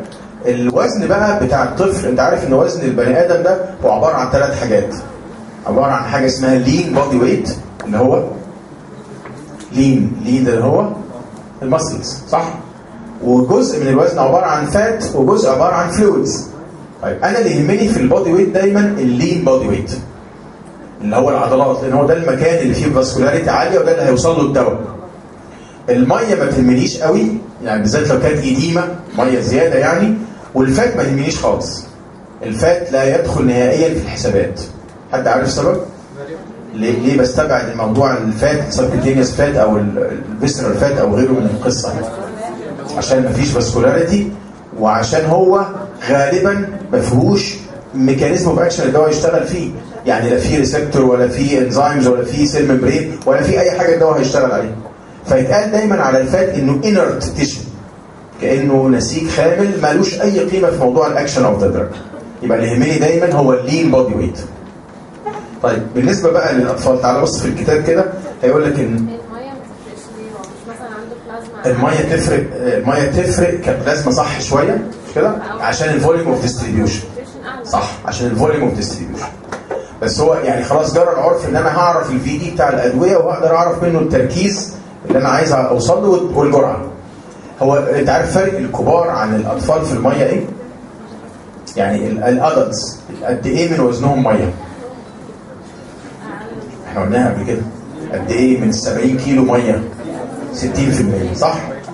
ال- الأطفال أكتر من 60% يعني وزنهم أكتر من 60% عبارة عن مية ال- ال- الفات مش كتير قوي الفات أقل من الأدلت شوية اللي باقي اللي هو ال lean body weight ده تقريبا هو ده اللي بحكم بيه. يبقى ده ده factor مهم لكن ما يهمنيش قوي ال total body water وما يهمنيش قوي ال percent of fat الأهم بقى من الكلام بتاع ال body weight والكلام ده ال plasma protein أنا عايز حد يفسر لي لما ال plasma proteins في الأطفال تبقى أقل من ال adults تفرق معانا في إيه؟ أو حتى في الكبار. مش كده؟ حتى في السن الكبير. بالظبط. أنا لما بدي دواء جزء منه هيبقى bound ملوش قيمة. وجزء منه free هو ال active لو ال plasma proteins قليلة ال free هيعلى فقد يؤدي إلى toxic dose فلازم أقلل الجرعات. يبقى الأطفال عندهم plasma proteins أقل وبالتالي ال free form عندهم أعلى. عشان كده محتاج إن أنا أقلل الجرعة شوية. ال factor اللي بعد كده ال blood brain barrier ال blood brain barrier ما هوش well developed هو مكتوب إن هو more permeable معناه هو لسه مش محكم قوي زي ال adult blood brain barrier حد عنده دليل؟ برافو عليك. السلفر لما أخذناها في الكبار ما عملتش kernicterus صح؟ ولا عملت؟ أنتوا عارفين السلفر بتعمل displacement of bilirubin على ال plasma proteins في الكبار ما تعملش يمكن بتعمل بس شوية jaundice لكن في الأطفال تعمل مشكلة إنها تترسب في ال brain لأن ال blood brain barrier is more permeable النقطة الثانية اللي هي renal clearance أقل طبعا في الأطفال عن الكبار وكاتب ال aminoglycosides هو يعني أنا يعني سعيد الحقيقة بهذا الاختيار. اشمعنى aminoglycosides يعني؟ المهم إن أنا سعيد مش مهم إيه ال aminoglycosides أيوه صح. ال aminoglycosides هم نفسهم nephrotoxic صح؟ أفتكر المحاضرة اللي فاتت كده كان من ضمن ال adverse effects بتاعت الأدوية حاجة اسمها cytotoxicity وكان مكتوب nephrotoxicity. وكان مكتوب المثل ده gentamicin و streptomycin ومش عارف إيه. المشكلة الثانية ان ال aminoglycosides هم نفسهم معتمدين على renal clearance يعني أنا بتخلص منهم مش metabolism بتخلص منهم إن أنا أنزلهم في ال urine زي ما هم. مش كده؟ فعشان كده هم مولئين جدا. هديهم في طفل ال kidney function مش حلوة أو مش لسه well developed هم نفسهم بيقللوا وظائف الكلى وهم نفسهم معتمدين في التخلص على الكلى فعشان كده we have to adjust ال dose كويس قوي. لو أنا هدي الطفل ده aminoglycoside ال factor الثالث ده سهل بقى hepatic microsomal enzymes وبرضه سعادتي اكتملت إن أنا لقيت كلورامفينيكول اشمعنى؟ يعني اشمعنى المثل ده المثل الحلو قوي اللي اتقال عشان الكلورامفينيكول معتمد في التخلص منه على conjugation by the liver مش كده؟ والحاجة الأهم بقى هو نفسه hepatic microsomal inhibitor صح؟ فلما اديه للطفل اللي ال liver بتاعه مش كويس وهو نفسه هيقلل وظائف الكبد يعمل تسمم اللي إحنا سميناه قبل كده ال gray baby syndrome. ال factor اللي بعد كده إن الأطفال رد فعلها للأدوية بيختلف عن الكبار. هنسمع إن شاء الله في الأمفيتامين في ال autonomic فاكرين الأمفيتامين مش كده؟ أو يعني عدى عليك كده أمفيتامين ده basic drug وعشان أعالج التسمم لازم أخلي ال urine more acidic وال amphetamine ده اللي هو بينعنش ويفرفش ويصحصح وي... وما يجوعش وما يخليكش تتعب بس مشكلته إدمان. الامفيتامين في الكبار واضح بقى إن هو بايه CNS stimulant مش كده؟ عمال ينشط ال cerebral cortex وغيره. لقوا إن في الأطفال بالذات اللي عندهم مشكلة هقول لك عليها لقوا إن الأطفال لما بياخدوا امفيتامين بيحصل لهم العكس. يحصل لهم sedation. يعني يهدى شوية لا sedation يعني يهدى شوية. أنت عارف بيستعملوا الامفيتامين ده في, في الأطفال في حاجة ما أعتقدش ما أعرفش بقى سمعتوا عنها ولا لأ. حاجة اسمها attention deficit disorders. سمعناش؟ أو حاجة اسمها attention deficit hyperactive disorders. آه الأطفال اللي عندهم كلمة attention deficit معناها attention يعني تركيز و deficit صح؟ مش قادر يركز. الطفل عنده صعوبة في التركيز. تلاقي الطفل ده يعني يعمل حاجة ويزهق منها بسرعة ويعمل حاجة تانية ويسيبها.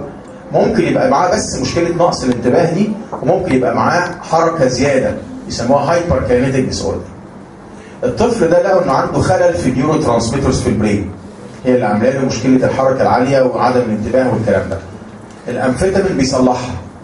الامفيتامين بيطلع مادة اسمها نور ادرينالين في ال brain تبدأ تزود ال attention span تبدأ تخلي الطفل يركز فترات أطول وفي نفس الوقت بتقلل الحركة بتاعته.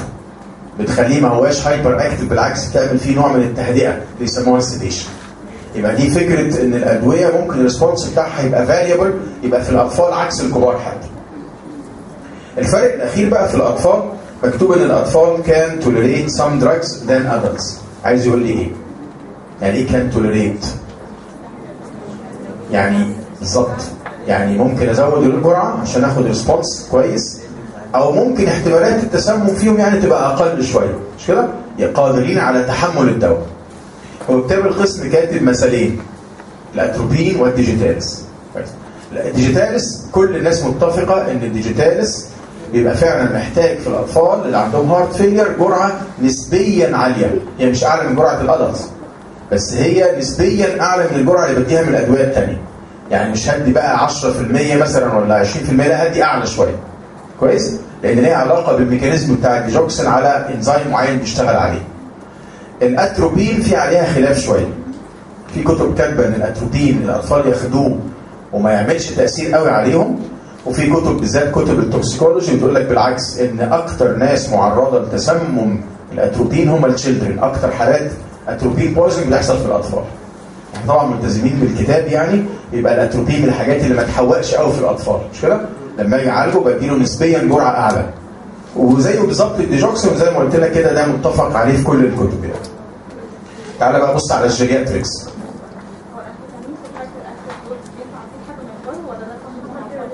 آه بص هو غالبا ال hyperkinetic disorder أو ال ADHD أو ال ADD ده بيقل قوي مع مع العمر.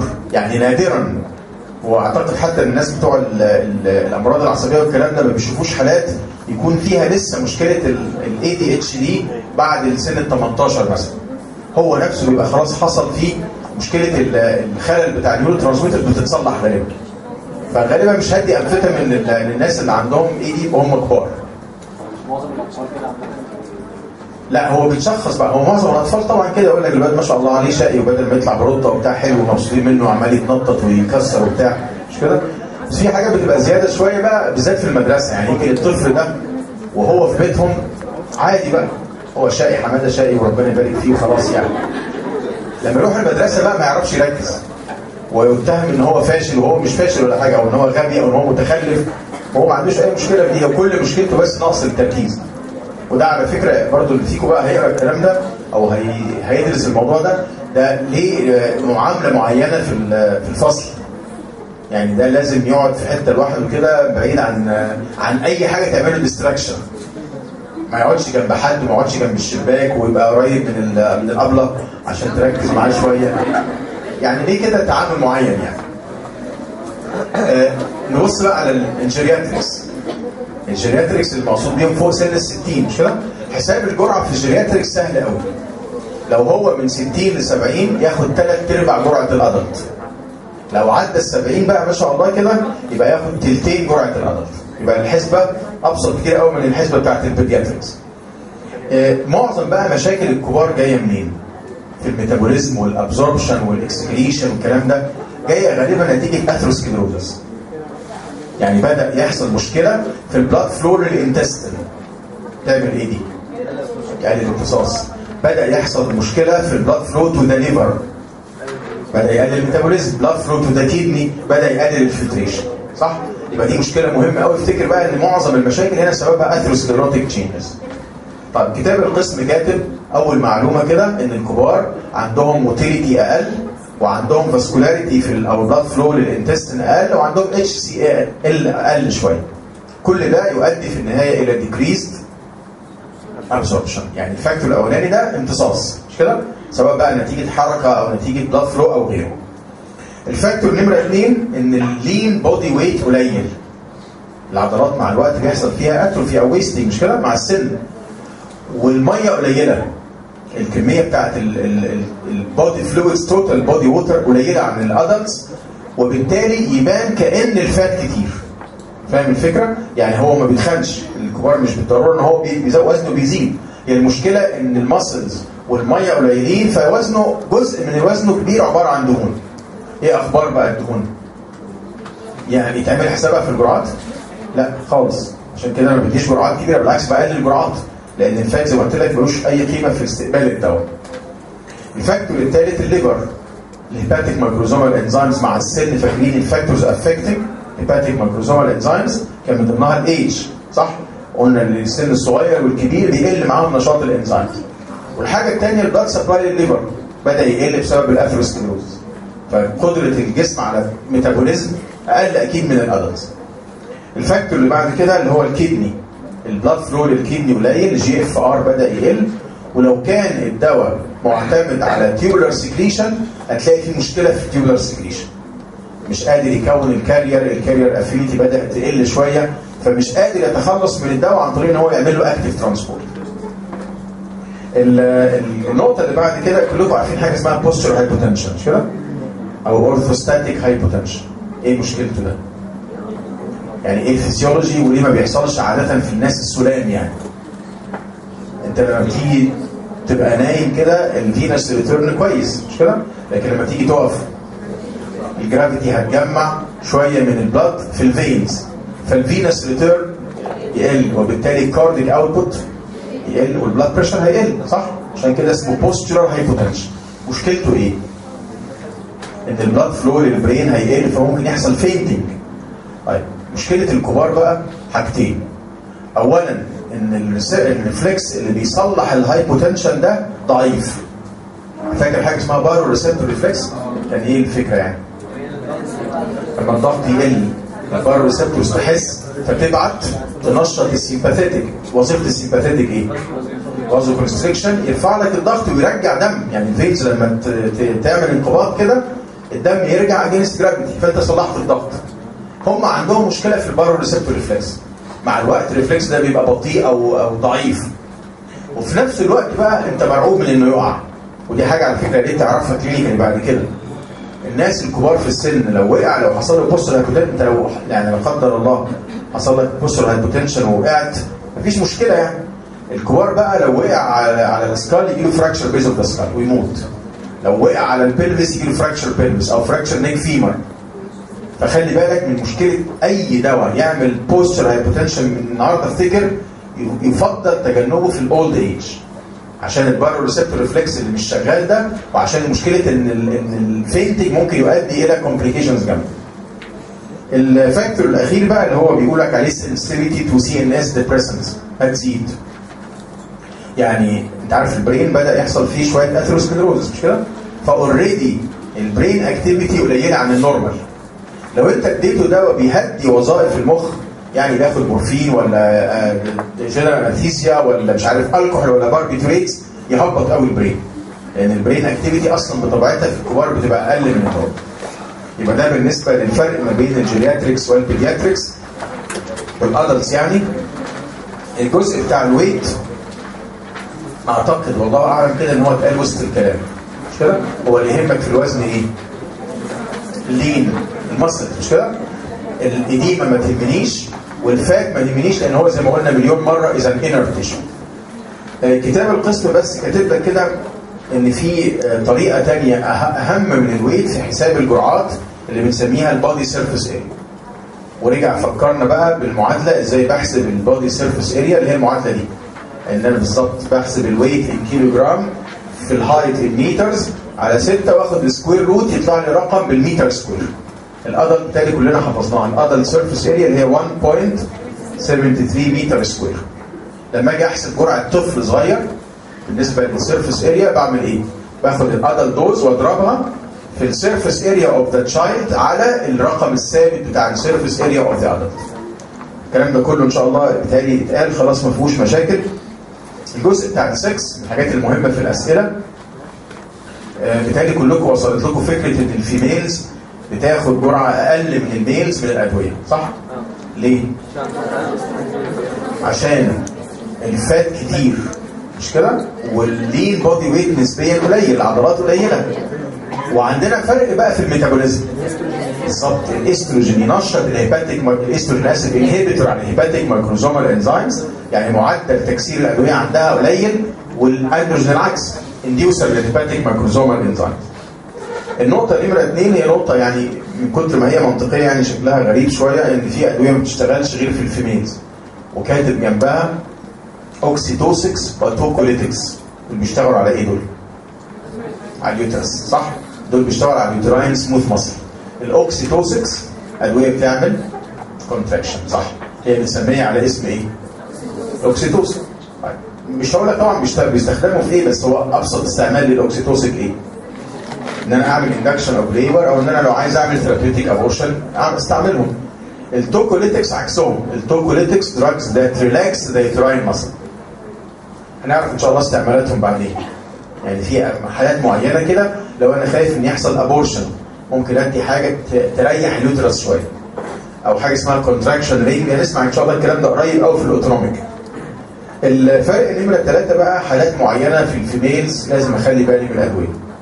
نمرة واحد ال menstruation أه هقول لكم بس عشان ال- الكلام بتاع الأسبرين ده يبقى واضح هو مكتوب avoid aspirin وبين قوسين bleeding هو عايز يقول لي إيه بس عشان آه، ال menstruation مشكلتها لبعض الناس بالذات ال young females شوية إنها بتعمل pain في حاجة اسمها pain في ال menstruation بيبقى في spasm جامد قوي في ال uterus فبيعمل مغص فظيع.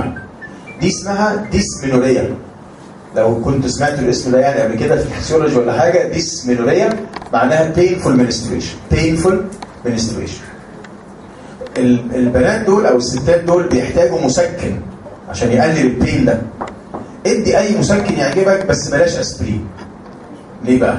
الاسبرين هيضيع ال pain بس مشكلته اللي بيزود ال bleeding. من ضمن عيوب الاسبرين المشهورة في أي شخص ان ممكن يعمل bleeding tendency فهيزود قوي ال menstrual bleeding في الحالات دي. فهمنا الفكرة؟ استعمل بقى أي non-steroid تاني كتافلام مش عارف فولتارين فيلدين أي حاجة من دول يضيعوا ال pain without increase of the bleeding. يبقى دي precaution مهم قوي during menstruation. ابعد عن أي دواء ممكن يزود ال menstrual bleeding ال precaution نمرة اثنين بقى أثناء الحمل بقى في ال pregnancy أنت لازم تتجنب إيه في الحوامل؟ الأدوية اللي should be avoided in pregnancy؟ أي حاجة معروف إنها teratogenic طبعا ده دلوقتي حسب ال category بتاع الدواء وأي حاجة تعمل oxytocic action صح؟ لأنها تعمل abortion في أثناء الولادة بقى سمعت عن حاجة مرة كده عدت عليك اسمها neonatal asphyxia لما كنا بندي للأم في الولادة مورفين كمسكن كان بيع أو باربيتريت صح كان بيعدي ال placental barrier ويعمل inhibition في ال respiratory center of the fetus فيتولد الطفل ما ما فيش نفس. آخر حاجة بقى اللي هي during lactation هو أنهي دواء اللي بينزل في ال breast milk كله تقريبا مش كده؟ بس اللي هيبقى زيادة بقى زي ما انت عرفت ال fat soluble أو ال basic مش كده؟ هو كتاب القسم كاتب avoid تقريبا معظم الأدوية. purgatives أدوية ال- الإمساك يعني اللي بتفضي ال intestine. ال antihistaminics وأنا في رأيي إن دول حاجات مش خطر خالص. الحاجات الخطر قوي حاجة مثلا زي ال anticoagulants أم بتاخد anticoagulant زي ال warfarin ويعدي مع ال breast milk ممكن يعمل bleeding جامد في الطفل. أو حاجة زي ال tetracyclines بتعمل مشاكل ال bone and قبل ما أنسى بس عشان حد سألني الصبح تقريبا في نقطة في ال pregnancy مكتوب avoid oxytocics مش كده؟ و cathartics. cathartics بس هي هي كلمة ليس لها أي استعمال في الطب حاليا. بس هي كانت مجموعة من ال purgatives اللي كانت severely irritant. يعني أدوية كانت بتتاخد زمان في علاج ال constipation بس كانت أدوية irritant قوي. فكانت لما تتاخد تعمل congestion في ال pelvis كله. تعمل احتقان في ال uterus. ولما يحصل congestion في ال pelvis بقى يحصل إيه؟ في ال uterus بالذات يعني لما يبقى بالظبط. لو هي menstruating ال bleeding يزيد قوي. ولو هي في حالة حمل يحصل reflex contraction فعشان كده ال cathartics دي كانت بتعمل abortion في وقت من الأوقات. كانوا بيستعملوها على فكرة زمان في الطب الشعبي. يعني الناس اللي عايزين يعملوا إجهاض لحد من غير ما يجيبوا دواء أصلا بيعمل abortion يجيب وصفة من بتوع من العطار كده حاجة بتعالج الامساك كان لهم أسامي غريبة كده زمان. ويشرب الست الحامل دي ال- الدواء بتاع الامساك ده يجي لها abortion بسبب إن هو عمل irritation و congestion جامد قوي في ال uterus ووراه muscle contraction ده بس عشان على فكرة أنا بنسى كتير ويعني وأنا مش حافظ الكتاب بال- بالكلمة يعني. فبنسى كتير أسامي يعني بنسى كتير حاجات. وقعدت امبارح يعني أعلم عليها كده عشان يعني إيه مرة كده نجمع لكم الحاجات اللي أنا نسيتها. يعني في حد النهارده سألني المرة اللي فاتت على حاجة اسمها desensitization مش كده مش النهارده سالتوني كانت في الجزء بتاع ال allergy كان في حاجة اسمها desensitization في ناس قريتها وطنشت وفي ناس ما قريتهاش وفي ناس قريتها وسألت و... هجمع لكم بقى كل الحاجات اللي أنا نسيتها دي في 10 دقايق كده أقول لكم عليها إن شاء الله. ده بالنسبة للجزء بتاع السكس الجزء بتاع ال route administration كلام سهل قوي هو هناخد الدواء قبل الأكل ولا بعد الأكل؟ أيوه. على حسب لو كان الدواء ده irritant زي ال non-steroid مثلا والحديد يبقى بعد الأكل. لكن القاعدة العامة بقى يتاخد على empty stomach عشان ما يقلش تركيز الدواء وعشان ما يبقاش فيه مشكلة من مثلا البروتين مع L-dopa الكلام اللي إحنا سمعناه في الجزء بتاع ال absorption النقطة الثانية في ال route administration أحيانا نفس الدواء بيعمل actions مختلفة according to the route يعني هو نفس الدواء. بس لما تديه oral يعمل حاجة ولما تديه rectal يعمل حاجة ولما تديه IV infusion يعمل حاجة ثالثه أعتقد المثل الوحيد اللي في المنهج ده اسمه magnesium sulfate برضو احتمال يكون عدى عليك. ويقولوا عليه بيشتغل بطريقة اسمها ال osmosis. مش كده؟ ويسموه saline purgative اللي أنا قلت لك عليه حتى بالعربي اسمه شربة الملح. الدواء ده لما بيتبلع oral كده بتركيز عالي أو بجرعة عالية بيشتغل ك purgative فاكرين فكرته إيه؟ ال osmotic action ده يجمع مية فيزود ال bulk of the GIT فيعمل stretch على ال wall وبالتالي يحصل وراه reflex contraction فيفضي ال GIT من ال stools لو اتاخد oral بجرعة صغيرة يعمل حاجة أنا قلت لهم الصبح عليها استغربوها قوي اسمها cholagogue action أيوه cholagogue chola يعني gall bladder مش كده؟ وجوج يعني بي secrete. يعني الدواء ده بيعمل contraction في ال gall bladder فتخليها تفضي ال bile اللي جواها نفس الدواء بقى لو اتاخد على شكل rectal enema حاجة نسمعها إن شاء الله في الجنرال اسمها retention enema يعني حقنة شرجيه بس مش الهدف منها إن أنا أفضي القولون. ده الهدف منها إن أنا أديك دواء كطريقة لامتصاص الأدوية. ال magnesium sulfate لما بيتاخد على شكل retention enema بيشتغل dehydrating agent حد يعرف يفسرها؟ بيسحب مية. ليه؟ osmotic صح؟ مش هو زي ما عمل osmotic action لما اتبلع. يعمل osmotic action لما يوصل لل- لل blood يسحب شوية مية كده وينزلوا بعد كده في ال urine. فاكر فكرة المانيتول؟ هو نفس الفكرة تقريبا. هو ليه osmotic effect فبيتاخد في نفس الحالة. بيتاخد في حاجة اسمها ال cerebral edema عشان يقلل شوية ال intracranial pressure يبقى هنا معتمد إنه اشتغل ك dehydrating agent مش لما يتاخد oral بقى ده لازم يتاخد غالبا على شكل ال rectal enema أو retention enema كان زمان بقى بيتاخد IV infusion أنتوا عارفين يعني أنا فاكر كده بشكل مبسط قوي في الفسيولوجي كانوا يقولوا لنا الكالسيوم والمغنيسيوم دول عكس بعض على ال excitable tissues مش كده؟ الكالسيوم ليه excitatory effect والمغنيسيوم بالعكس.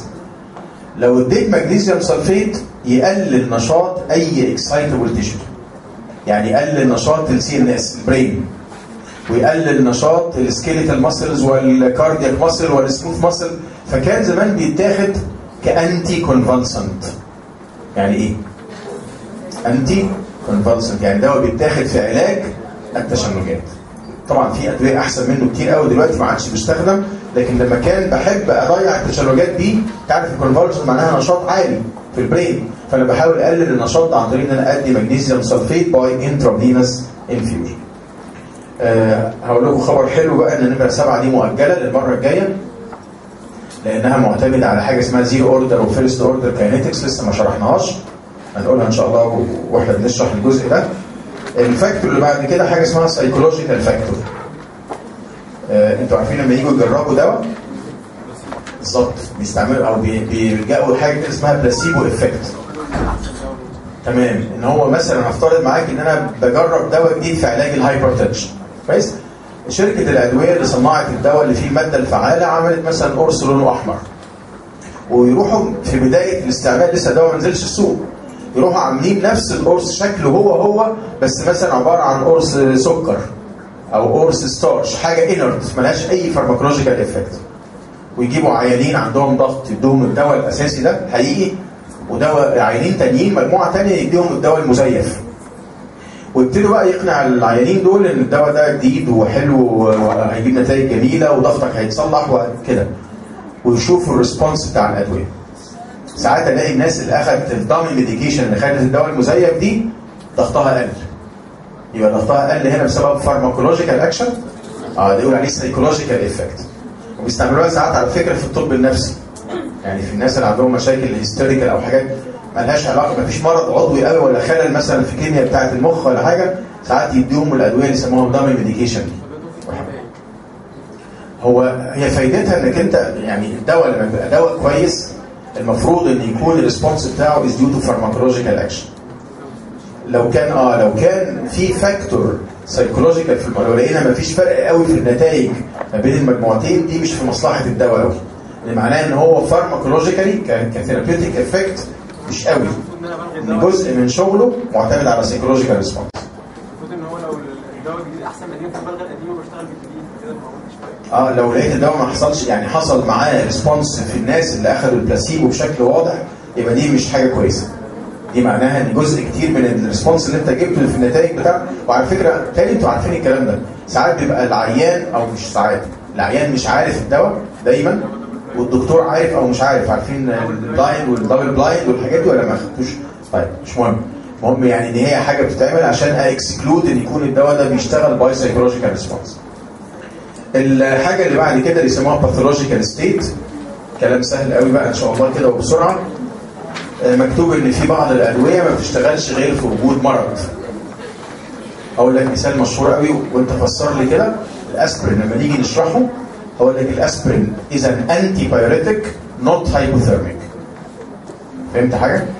الأسبرين is an antipyretic drug و not a hypothermic drug يعني إيه؟ يعني الأسبرين يقلل ال high temperature لو أنا عندي fever يرجعها normal مش كده؟ لكن لو أنا ما عنديش حرارة عالية وأخدت أسبرين عشان وجع أو صداع مش هيقلل ال body temperature below normal هنعرف بالتفصيل إن شاء الله سببها؟ ال prostaglandins وال set point بتاعت ال hypothalamus وكلام كتير قوي إن شاء الله جاي. نفس الكلام ال digitalis لو حد فينا جرب ياخد digitalis مش هيحصل له diuretic action لكن لو في heart failure ال digitalis يعمل diuretic effect وهيبقى برضه إن شاء الله تفسيرها مع ال cardiac output لما يزيد و renal blood flow لما يزيد. هنعرف إن شاء الله هو ليه بيبقى اشتغل ك diuretic في الناس اللي عندهم heart failure وعمره ما يعمل diuresis ال normal patients يبقى ده مثال للادويه اللي ما تشتغلش إلا في وجود pathological condition النوع الثاني بقى أو النقطة الثانية ال super sensitivity بالتالي خلاص أنتوا بقيتوا خبراء فيها دي. super exaggerated normal response مش كده؟ إن أنا أدي therapeutic dose يبقى رد فعلها طبيعي ومتوقع بس بشكل مبالغ فيه. وقلنا طبعا أشهر مثل الأدرينالين أو أي sympathomimetic في الناس اللي عندهم thyrotoxicosis وعرفنا السبب بقى يا اما receptors فيها super sensitivity أو up regulation يا إما مشكلة metabolism طيب هو جه بقى بعد كده غير مثل الادرينالين ده إدي مثل تاني اسمه ال beta blockers في الناس اللي عندهم bronchial asthma أنا برضه عشان يعني ما لا يدرك كله لا يترك كله هناخد الكلام ده بعدين. بس أنا عايز أقول لك برضه باختصار كده ال bronchi في البني آدم عليها نوعين كبار من ال receptors ال smooth muscles بتاعت ال bronchi عليها two receptors receptor اسمه بيتا 2 ده بيعمل broncho dilatation و receptor اسمه M غالبا M 3 بيعمل broncho constriction أو bronchospasm كويس؟ كلنا عندنا كده. أي بني آدم عنده ال bronchi عليها الاثنين دول. ده بيشتغل بأدرينالين فبيوسع وده بيشتغل ب acetylcholine فبيقلل ال diameter أو ال caliber بتاع ال bronchi.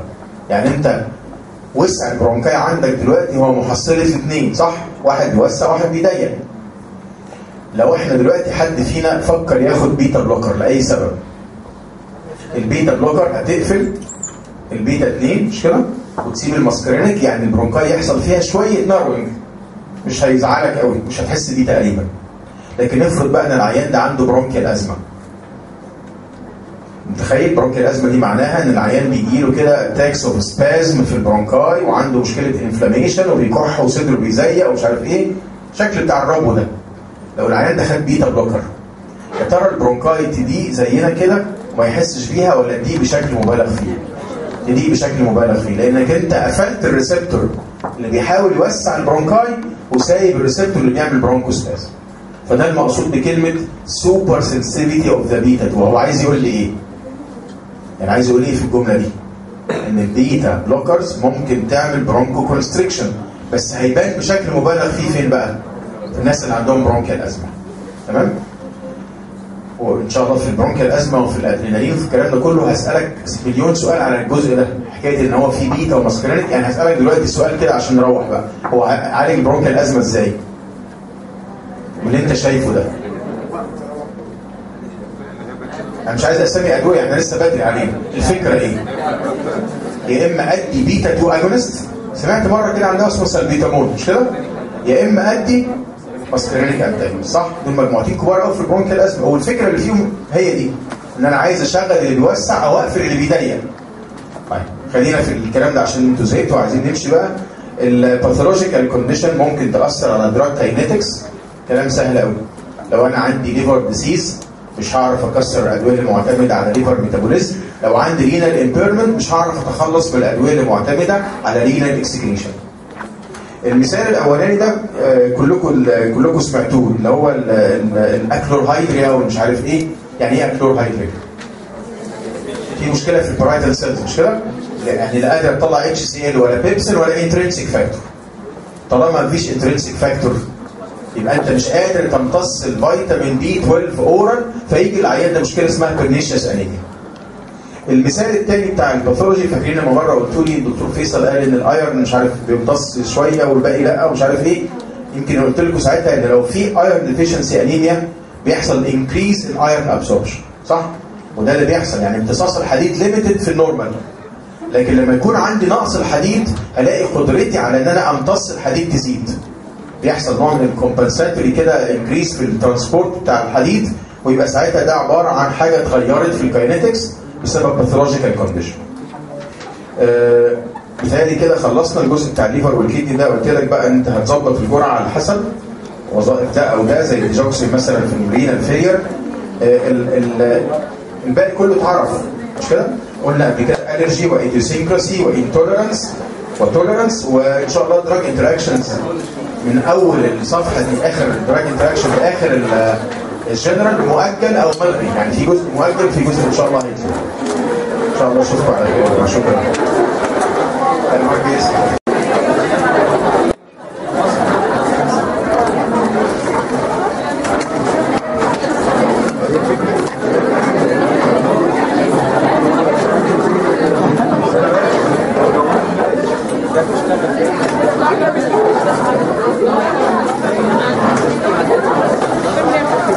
أشوف فيديو تسجل ولا لا لأن الكاميرا دي غريبه قوي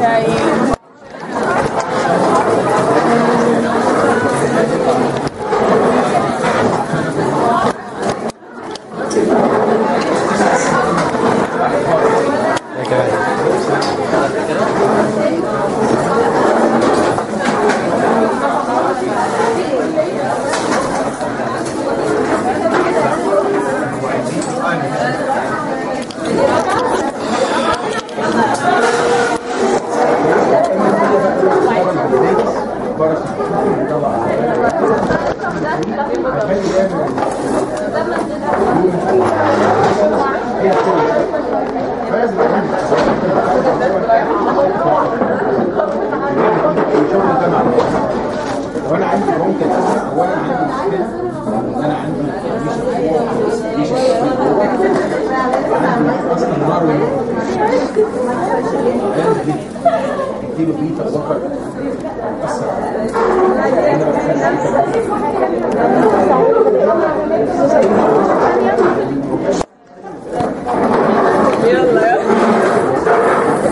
حاول وسع سبت الريسبتور شغال وشغال. مع بقى وجود الانفلاميشن والسبازم قبل ما تزيد كأن أقدر أقول كده ان البيتا بلوكر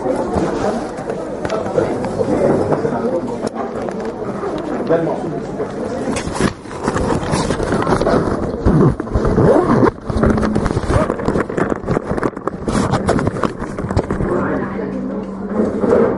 لا لا لا هي هي هي هي ثيرابيوتيك دوز بتتحسب بس بدي يعني الناس حسابات كده كتير قوي بس الهدف منها ان أنا اعرف الدوز رينج اللي هيبتدي عليه ده, ده هي دي اهم حاجة الدكتور عايزها هو مش بي دي ولا عايز يعرف آه، مثلا في هاف ولا عايز يعرف هو عايز يعرف الجرعة اللي هتبتدي معاه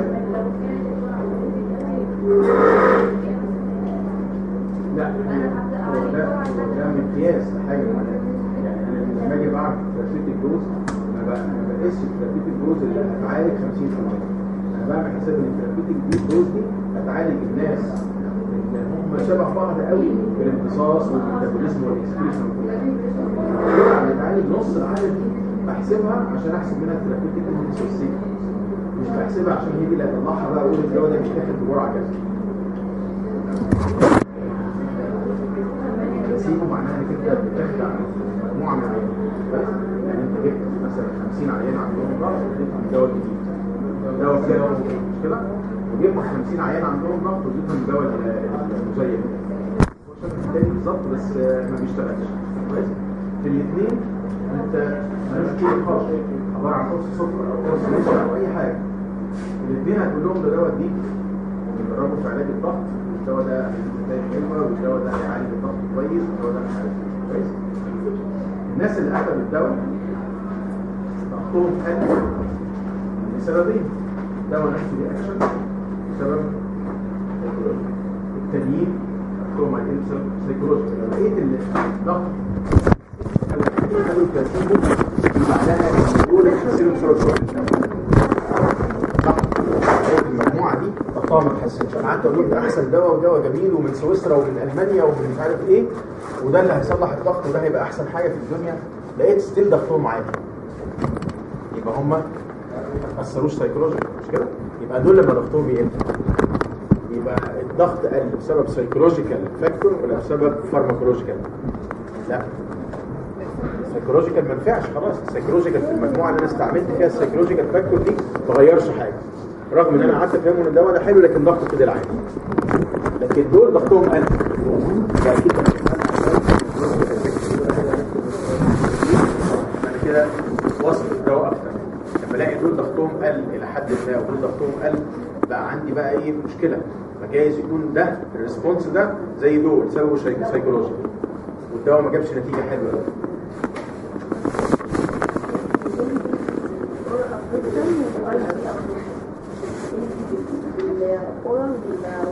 آه. لو رقم طلع كبير معناها إن امتصاص الاورال لا هو عمر عمر امتصاص الاورال اكبر من اي حاجة دايما أعلى حاجة؟ أهل الخليل زي أعلى حاجة بتدي امتصاص الاي دي كويس؟ أنا اديت جرعه من الأي دي واديت جرعه اورال من نفس الدواء. الجرعة دي موتت نص العدد والجرعة دي موتت نص العدد. بس الجرعة دي أضعاف أضعاف الجرعة دي. معناها إيه بقى؟ إن أنا عشان أبقى أوصل الدواء للدم. آه لا هنا بقى. أنا ما يهمنيش هنا. ماشي عشان معناها- ال 50 اللي هموتهم هنا لازم ازود الجرعه بالظبط. عشان أموت نفس ال 50 دول محتاج ادي جرعه كبيرة لأن الدواء ده امتصاصه صعب. يبقى معناه مش كده وصل الدم بسهولة عن طريق الاورال فبقى قريب من فرق مش كبير يعني. هنا موت موت مثلا بجرعة 150 وهنا موت بجرعة 120 مش فرق كبير. لكن لو هنا موت مثلا بجرعة 400 هنا موت بجرعة 120 لا فرق كبير بقى. يبقى أنا محتاج جرعة كبيرة يبقى امتصاصه مش حلو قوي من الجرعه لازم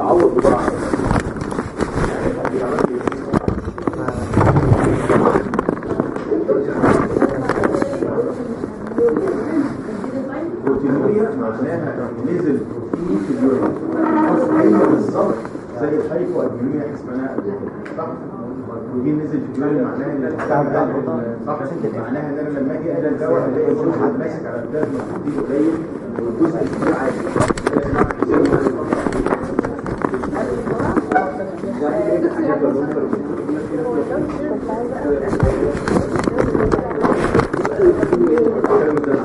انتباه على وصول الخلية دايما أي خليه بيحصل فيها signal transduction كده زي اللي هو second messenger أو كالسيوم أو غيره.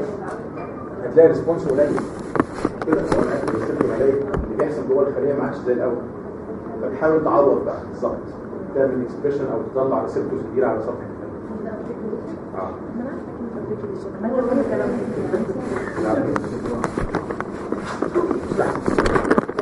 سنة الامتحان؟ يقول لك what the effect of age على ال dose وال action of the drug روح كاتب الكلام ده. فهحاسبك عليه بقى. انت كتبت لي إزاي بتحسب الجرعة ولا لأ؟ كتبت لي مش عارف. طب دلوقتي آه معظم كل الاطفال كده. آه، كده 10 15